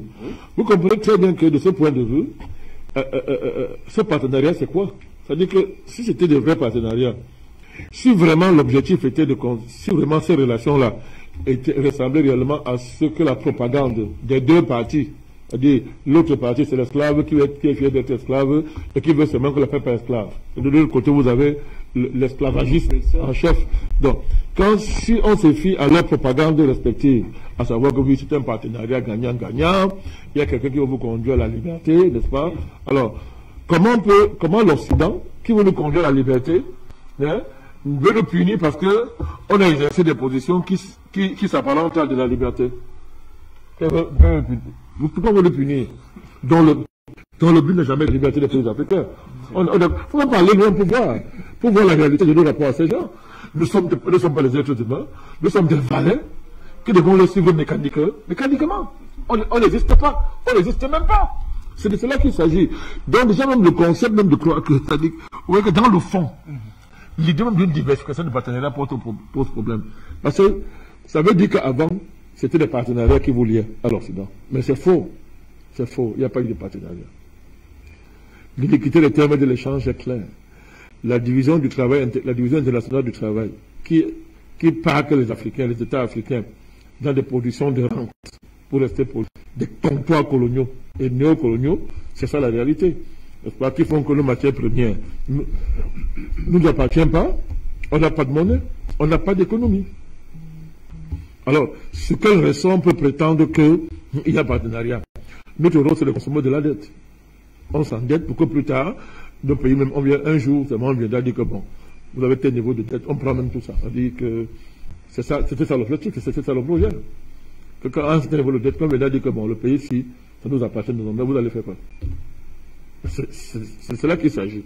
Ce qu'il faut faire, c'est de profiter là maintenant de cette situation où un nouveau monde est en train de, s'écrire grâce au courage de, Vladimir Poutine, grâce à la détermination de cet homme-là. Il faut en profiter une fois le plus pour s'émanciper définitivement. C'est de cela qu'il s'agit. Et pour cela, il faut rapidement tordre le cou à des discours de que vraiment, on peut un maître pour un autre. N'importe quoi. N'importe quoi. C'est ici que nous avons démontré que mais ce type de discours, soit c'est de l'ignorance, mais c'est de l'ignorance assumée. Et quelqu'un qui est fier d'être ignorant. On dit que la Russie, un, vous vous rendez compte maintenant de, la richesse de la Russie? La Russie, la Russie en termes de matières premières envie quoi l'Afrique Parlons-en. Parlons-en. Non, mais je comprends de ça. Parce que ces prétendus savants-là, qui reprennent le discours du criminel qu'on appelle euh, M. Le Trian, qui vous raconte des histoires, on ne parle pas d'un maître à un autre. D'abord, l'Occident n'a jamais été un maître pour nous. Un maître te transmet des valeurs. Qui de nous ici peut voir son maître de l'école primaire passer Parce qu'il t'a transmis des valeurs, mon frère. L'Occident n'a transmis que valeurs. L'Occident, c'est un, criminel qui venu nous arracher, qui nous appartient. Et qui nous massacre. Il ne peut pas être notre maître, c'est un ennemi. C'est un ennemi. C'est l'ennemi. Alors, l'autre maître, ok, la Russie est maître en quoi? La Russie, vous lui apportez, parlons-en. La Russie a toutes les matières que vous avez ici en Afrique. Est-ce que vous le savez? Vous vous, vous rendez compte maintenant du degré de dépendance de l'Occident envers la Russie? Tout à fait. Oui. Hein? Parce que quand vous arrêtez de suivre les, les d'un prétendu économiste qui dit qu'il a été ancien directeur général du FMI, qui vous a dit que l'économie russe, ça ne vaut rien, c'est toi les derniers, mais il n'a pas le matériel. Hein? Qui vous montre par là qu'il n'a jamais fait de l'économie, il comprend rien à l'économie. Parce qu'il comprenait un peu l'économie, il n'aurait pas dit de telles bêtises. Mais quand vous avez été directeur du FMI, une organisation criminelle sur le plan économique, vous pouvez faire des choses comme ça, des fanfaronnades comme ce que M. Ouattara a fait. Vous savez que... Voilà, regardez. Vous vous rendez compte? Regardez la Russie. Regardez le niveau de la Russie. Vous allez voir ça aujourd'hui. Mais, maintenant, sur le plan géopolitique, la Russie a le même sort que vous, parce que les Occidentaux n'acceptent pas l'indépendance de la Russie. N'acceptent pas que la Russie soit un pays indépendant. Et du coup, elle dit qu'applique à la Russie ce qui vous applique. Vous dites que la, Russie, le niveau de sanctions qu'on inflige à un pays qui est dépositaire de l'arme nucléaire, qui est une puissance méga nucléaire. On dit que c'est une puissance nucléaire, c'est peu dire. La Russie, c'est une puissance méga nucléaire. Parce que le niveau de tête d'ogive nucléaire que la Russie a, ben, ben, mon ami, c'est pas, c'est-à-dire, on s'amuse pas avec ça. Mais regardez, regardez ce que les autres font en termes de sanctions. C'est pas un pays du tiers-monde, ça N'est-ce pas aussi contre les pays du tiers-monde Les bons sanctions, le Mali aussi. Tout à fait. Mais alors, vous n'êtes pas en train de voir la, la, la, la, la consanguinité géopolitique qui nous lie à la Russie. Et c'est pour ça qu'il y a une convergence naturelle entre nous et les Russes. C'est une chance pour nous. D'avoir une puissance continentale, un État continental comme la Russie, qui a un tel niveau de puissance militaire et géopolitique, être la cible de l'Occident. Parce qu'à travers ça, ça crée un équilibrage de fait qui fait que la Russie comprend qu'elle a, a besoin de la profondeur géopolitique africaine. vous bien premier, elle en a. Vous, vous comparez la Russie à un pays pauvre comme la France Pauvre, et naturellement pauvre comme elle pour la France. Et vous comparez la Russie à un pays comme les États-Unis L'Angleterre, la Russie pourvue. C'est un scandale en matière première. Vous avez de vous rendre compte. Et qui est en train d'opérer sa mutation industrielle en vitesse. vous avez de voir. Et, et, et tel que c'est en train de partir là, les le savent très bien que si on laisse continuer, ça va être très grave. Regardez, en termes de. Si on prend leurs propres critères de gestion, les propres critères, c'est du n'importe quoi, mais acceptons. Il appelle ça la bonne gouvernance. Ce n'est pas l'équilibre dépenses-recettes. Tout à fait. Un bon, c'est pas ça. Bon, la Poutine, l'État russe sous Poutine n'a pas de dette intérieure. Tout à fait. Encore moins extérieure.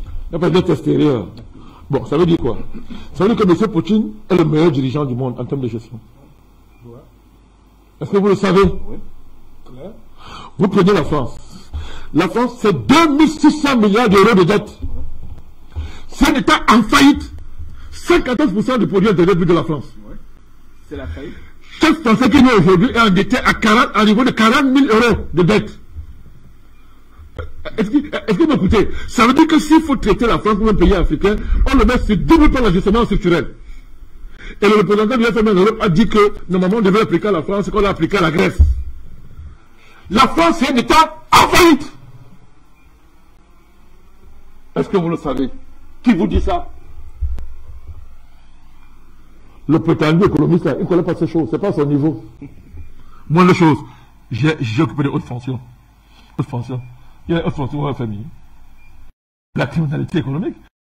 Et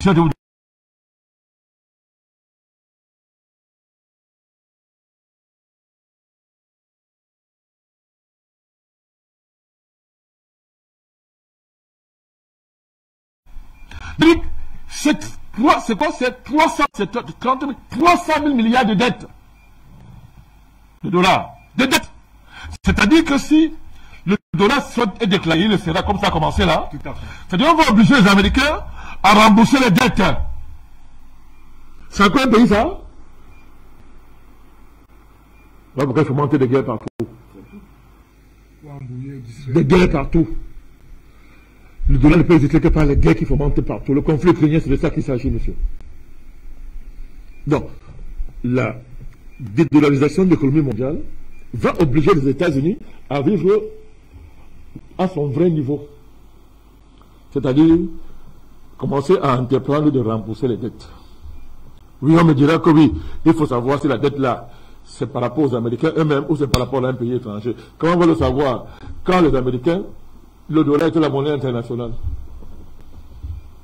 Quand le dollar va perdre, et, c'est fini, là, ça a commencé, ce statut-là, on verra le vrai niveau des États-Unis, monsieur.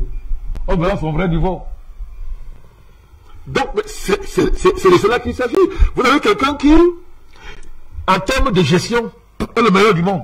Il n'a pas de dette intérieure, de dette extérieure. C'est-à-dire que d'après les critères, hein, les critères non libéraux d'évaluation de la bonne gestion, est le meilleur dans le monde. On vous dit que voilà votre, voilà votre maître, qu'il vient voler vos matières premières. Il vient marcher Là, c'est un pays pauvre. Vous ne voulez pas dire que c'est le banque actuellement là? Vous pays développés qui n'ont pas de gaz chez eux. Ils n'ont pas de gaz. Ils veulent le gaz, ils ne veulent pas payer. Ils gèrent 300 milliards de dollars. Ils veulent ça. Violant tous les textes même qu'ils ont écrits, ils veulent tout. Ce sont des bandits. Les États bandits. Vous volez Vous parlez de quoi là On parle de quoi Les Africains sont là pour raconter des bobards dans les réseaux sociaux, payés qui sont pas des pour la quoi Alors qu'on n'a même pas de valeur, on ne peut même pas débattre de ça, ça n'a aucun contenu en matière de, en rien, n'est fondé en rien. Donc, la question que vous posez là, excusez-moi, je comprends que c'est de la pédagogie, on ne peut même pas la poser. Vous avez le choix. Le meilleur partenaire africain aujourd'hui, mais c'est la Russie. C'est le meilleur partenaire. Mais on a un problème. Nos élites intellectuels universitaires, valaient des occidentaux. C'est-à-dire leur cerveau, c'est-à-dire que tu es gentil. Leur cerveau, c'est un détachement des cerveaux occidentaux. Euh, C'est un, dé- c'est un sous-détachement des cerveaux occ- occidentalisés. Ils ne peuvent pas réfléchir au-delà de, de la sous-connaissance que les occidentaux les prêtent. Quand Macron les a Hein dans le sommet de Camembert, Voilà, des trucs comme ça. Vous avez vu le sommet de, le sommet de Montpellier Tu dis le sommet du Camembert Mais très bien. Avec celui qui apparaissait comme le génie, ca- le génie de l'Afrique. de On s'est rendu compte de quoi? Un sous-cerveau. Nos élites. Sur le plan spirituel, pareil. Nos élites que ne sont pas à la hauteur des enjeux. Ne parlez pas des, ne- ne- ne parlons pas des hommes politiques. Tout bon confondu, voilà le problème que nous avons. Comment voulez-vous que des élites, même Momo, qui n'ont jamais pensé ce qu'on appelle la production L'économie de la production? C'est-à-dire comment on gagne de l'argent par la production et on finance un train de vie de l'État à travers l'argent qui vient de la production locale. Des gens qui vivent par la dette. On la dette, le pays rembourse pas. Mais ils sont le train de vie, ils achètent au sud. Les enfants sont en Europe partout, ils vivent un train de vie qui n'a aucun rapport avec la réalité même du pays. Mais ces gens sont obligés d'être pro-occidentaux. Ils sont corrompus, monsieur pas ça la corruption cul- culturelle. La corruption économique, ils sont corrompus. Corruption de classe. Ils ne peuvent pas défendre les intérêts des, pays africains. C'est le problème comme là. C'est le travail qu'on fait ici. Cette nouvelle génération, qui, le travail qui est fait, et qui aboutit à une situation comme au Mali et ailleurs, cette opinion publique qui, Dieu merci, oblige les États aujourd'hui à dire, ah, on voit ça dans la, la- la- la géographie des positions euh, euh, africaines à l'ONU. C'est encourageant ce qu'on est en train de voir. C'est encourageant. C'est ça l'avenir. C'est ça qu'il faut faire. Donc tous les pays africains, n'est-ce pas, qui sont sérieux, qui ont un projet pour la population, ne peuvent qu'aller s'entendre avec les Russes. C'est-à-dire, L'alternative, c'est ça. On s'entend avec eux, parce que dès que nous sommes protégés militairement, je ne vais pas être long, je termine par là, je donne un cas concret. Regardez le Mali, mais on parle de quoi? Si le Mali n'avait pas un accord militaire avec la Russie, il existerait encore? Paris aurait rasé le Mali. Qu'est-ce qui empêche Mali Sous la couverture, Mais c'est clair sous la couverture du permis de chasse. Mais bien sûr, et l'ONU, comme à l'ONU, l'ONU vient demander très vite. Permis de chasse. Permis de chasse, dictateur. À celui qui est dictateur, il veut pas aller aux élections. On lance les bêtises, on lui fait la guerre. Pourquoi il peut faire blanchir? Parce qu'il y a un parapluie militaire. Les accords militaires qui lient le Mali à la Russie, ah, sans commentaire. Paris ne peut pas. Il va faire cocorico à l'ONU, comme disait Lavrov. Cocorico, cocorico, pac, pac, pac, pac, pac. À l'ONU, il ne va pas dire, mais sur le plan militaire, il ne peut pas contre le Mali. La France, l'Europe- l'Europe est incapable. Incapable. C'est parce que le Mali, n'est-ce pas, sur le plan militaire, c'est ainsi, que, que- que le Mali peut interdire à la MINUSMA d'entrer à Moura, faire l'enquête. Oui. Est-ce que vous vous rendez compte? Oui. Est-ce possible avant faits concrets sont. C'est pas par le discours. On voit si, si les pays africains étaient sérieux en termes d'offres économiques alternatives. Il y a mieux que la Russie. Il y a mieux. Il y a mieux. Mais arrêtons ça. Quel est ce continent que l'histoire t'offre le- l'occasion de, te- libérer, tu refuses la libération? Oui. En justifiant ça par n'importe quoi. Et on hésite. D'accord. Merci à vous, Président Bandaki, de sortir. Il y a désormais visiblement plus euh, autre alternative que, eh bien, de, on va dire, de, de saisir la balle au bon, notamment avec tous ces événements qui tournent autour du Kina africain aujourd'hui, même si le président Madakani l'a dit tout à l'heure, il faudra désormais se méfier donc de cette nouvelle formule et, cette, et, et- et ces intellectuels africains qui ne semblent pas visiblement eh bien, saisir la balle au bon. Comment, que doit-on faire? Alors, la nouvelle Afrique sera constituée des enfants d'Afrique. Pas ceux qui ont des cerveaux naturels, qui ont, des cerveaux clonés, c'est-à-dire euh, des intellectuels qui euh, ont pour euh, mode opératoire trahi le continent en fermant les yeux sur les enjeux véritables du continent. Ils sont nombreux et c'est eux la pomme de discorde.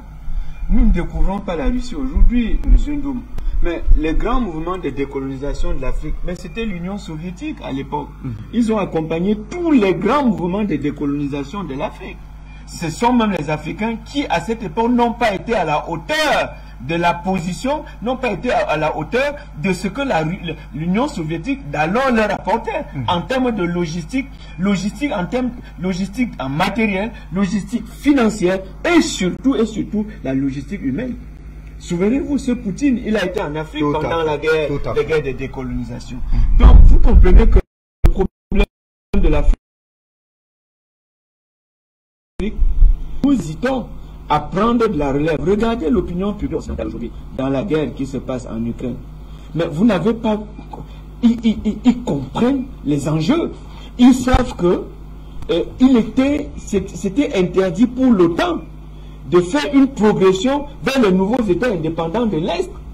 Mais c'est eux qui ont semé la, la, la pagaille, la zizanie.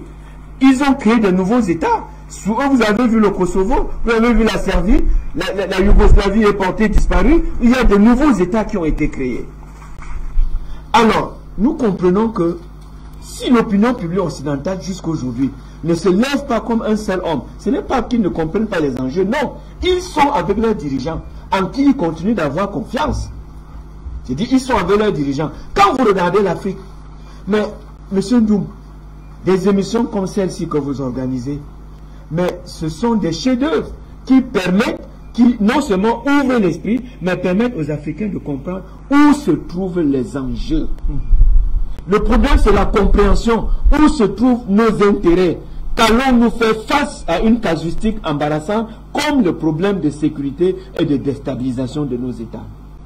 Nous avons des partenaires qui arrivent pour nous déstabiliser. Mais lorsque vous avez un partenaire qui arrive, mais pas pour euh, rester dans des chambres d'hôtel de 5 étoiles, mais pour vous accompagner dans des théâtres d'opération, tant sur le plan humain que sur le plan logistique. Mais comment il n'y a pas matière à hésitation mhm.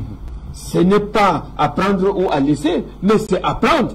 Vous n'avez pas une alternative, vous n'avez qu'une position, c'est adopter le partenaire, celui-là qui vous suit, celui-là qui vous accompagne, celui-là qui est, qui est prêt à vous défendre. D'ailleurs, là, au, Conseil de sécurité des Nations Unies, les positions du Tchad, les positions de la Chine et de la, Fédération de Russie. Mais ce sont des positions qui doivent faire réfléchir les Africains. Où se trouvent nos intérêts Mais comment la France qui pille, qui viole, qui vole depuis des années, depuis près d'un siècle, aujourd'hui, elle ne parvient pas à aller prendre des résolutions dans le sens de protéger véritablement les pays africains ou les, qui, qui sont en réalité... Elle était ce véritable partenaire. Mais oui, qui était ce véritable partenaire, nous ne vivrons pas. Mais elle s'est empêchée de signer des accords lyoniens de défense. On ne sait sur quoi. Mais lorsque vous avez des difficultés, ils vous disent non, nous ne pouvons pas intervenir. voilà, ils vous posent des conditions. Mhm. Alors qu'il y a des accords qui existent. Donc, il est question pour nous. Ce n'est plus, nous n'avons plus d'alternative. Les États africains n'ont plus d'alternative, c'est-à-dire deux possibilités. On n'a qu'une et une seule possibilité, c'est d'aller avec ce partenaire qui est en train de montrer des preuves sur le terrain. Parce que nous voulons sortir l'insécurité et faire de la prospective pour notre développement. Merci à vous. Allez dans une, deux minutes, si possible, que doit-on définitivement retenir autour de cette grosse thématique malienne qui euh, nous a longuement accompagnés dans le cadre de cette édition. Euh, Nous devons tout simplement euh, nous sentir, nous devions actuellement nous ressentir que nous sommes à la phase de la sortie de ce long tunnel qui a duré près de 500 ans, plus, de 60 ans d'indépendance par procuration. Aujourd'hui, nous avons la fierté et tous les Africains aujourd'hui de savoir que nous sommes en train d'écrire l'histoire moderne de cette, de cette Afrique et dans ce nouveau monde qui se présente aujourd'hui avec toutes les opportunités dont nous, les Africains, nous avons gagné un dans ce siècle, dans d'autres et que d'autres pays. Grâce à ce grand pays, la Russie, qui aujourd'hui a décidé de prendre l'eau nationale à témoin face aux erreurs que l'Afrique a subies et face aux erreurs qu'on voulait la faire subir, il a donc, cette grande Russie a préféré donc mettre les cartes sur la table. Et ces cartes aujourd'hui, les premiers bénéficiaires et de ces cartes arrivent trouver qu'il y a une jeunesse mature, responsable aujourd'hui dans le grand continent africain.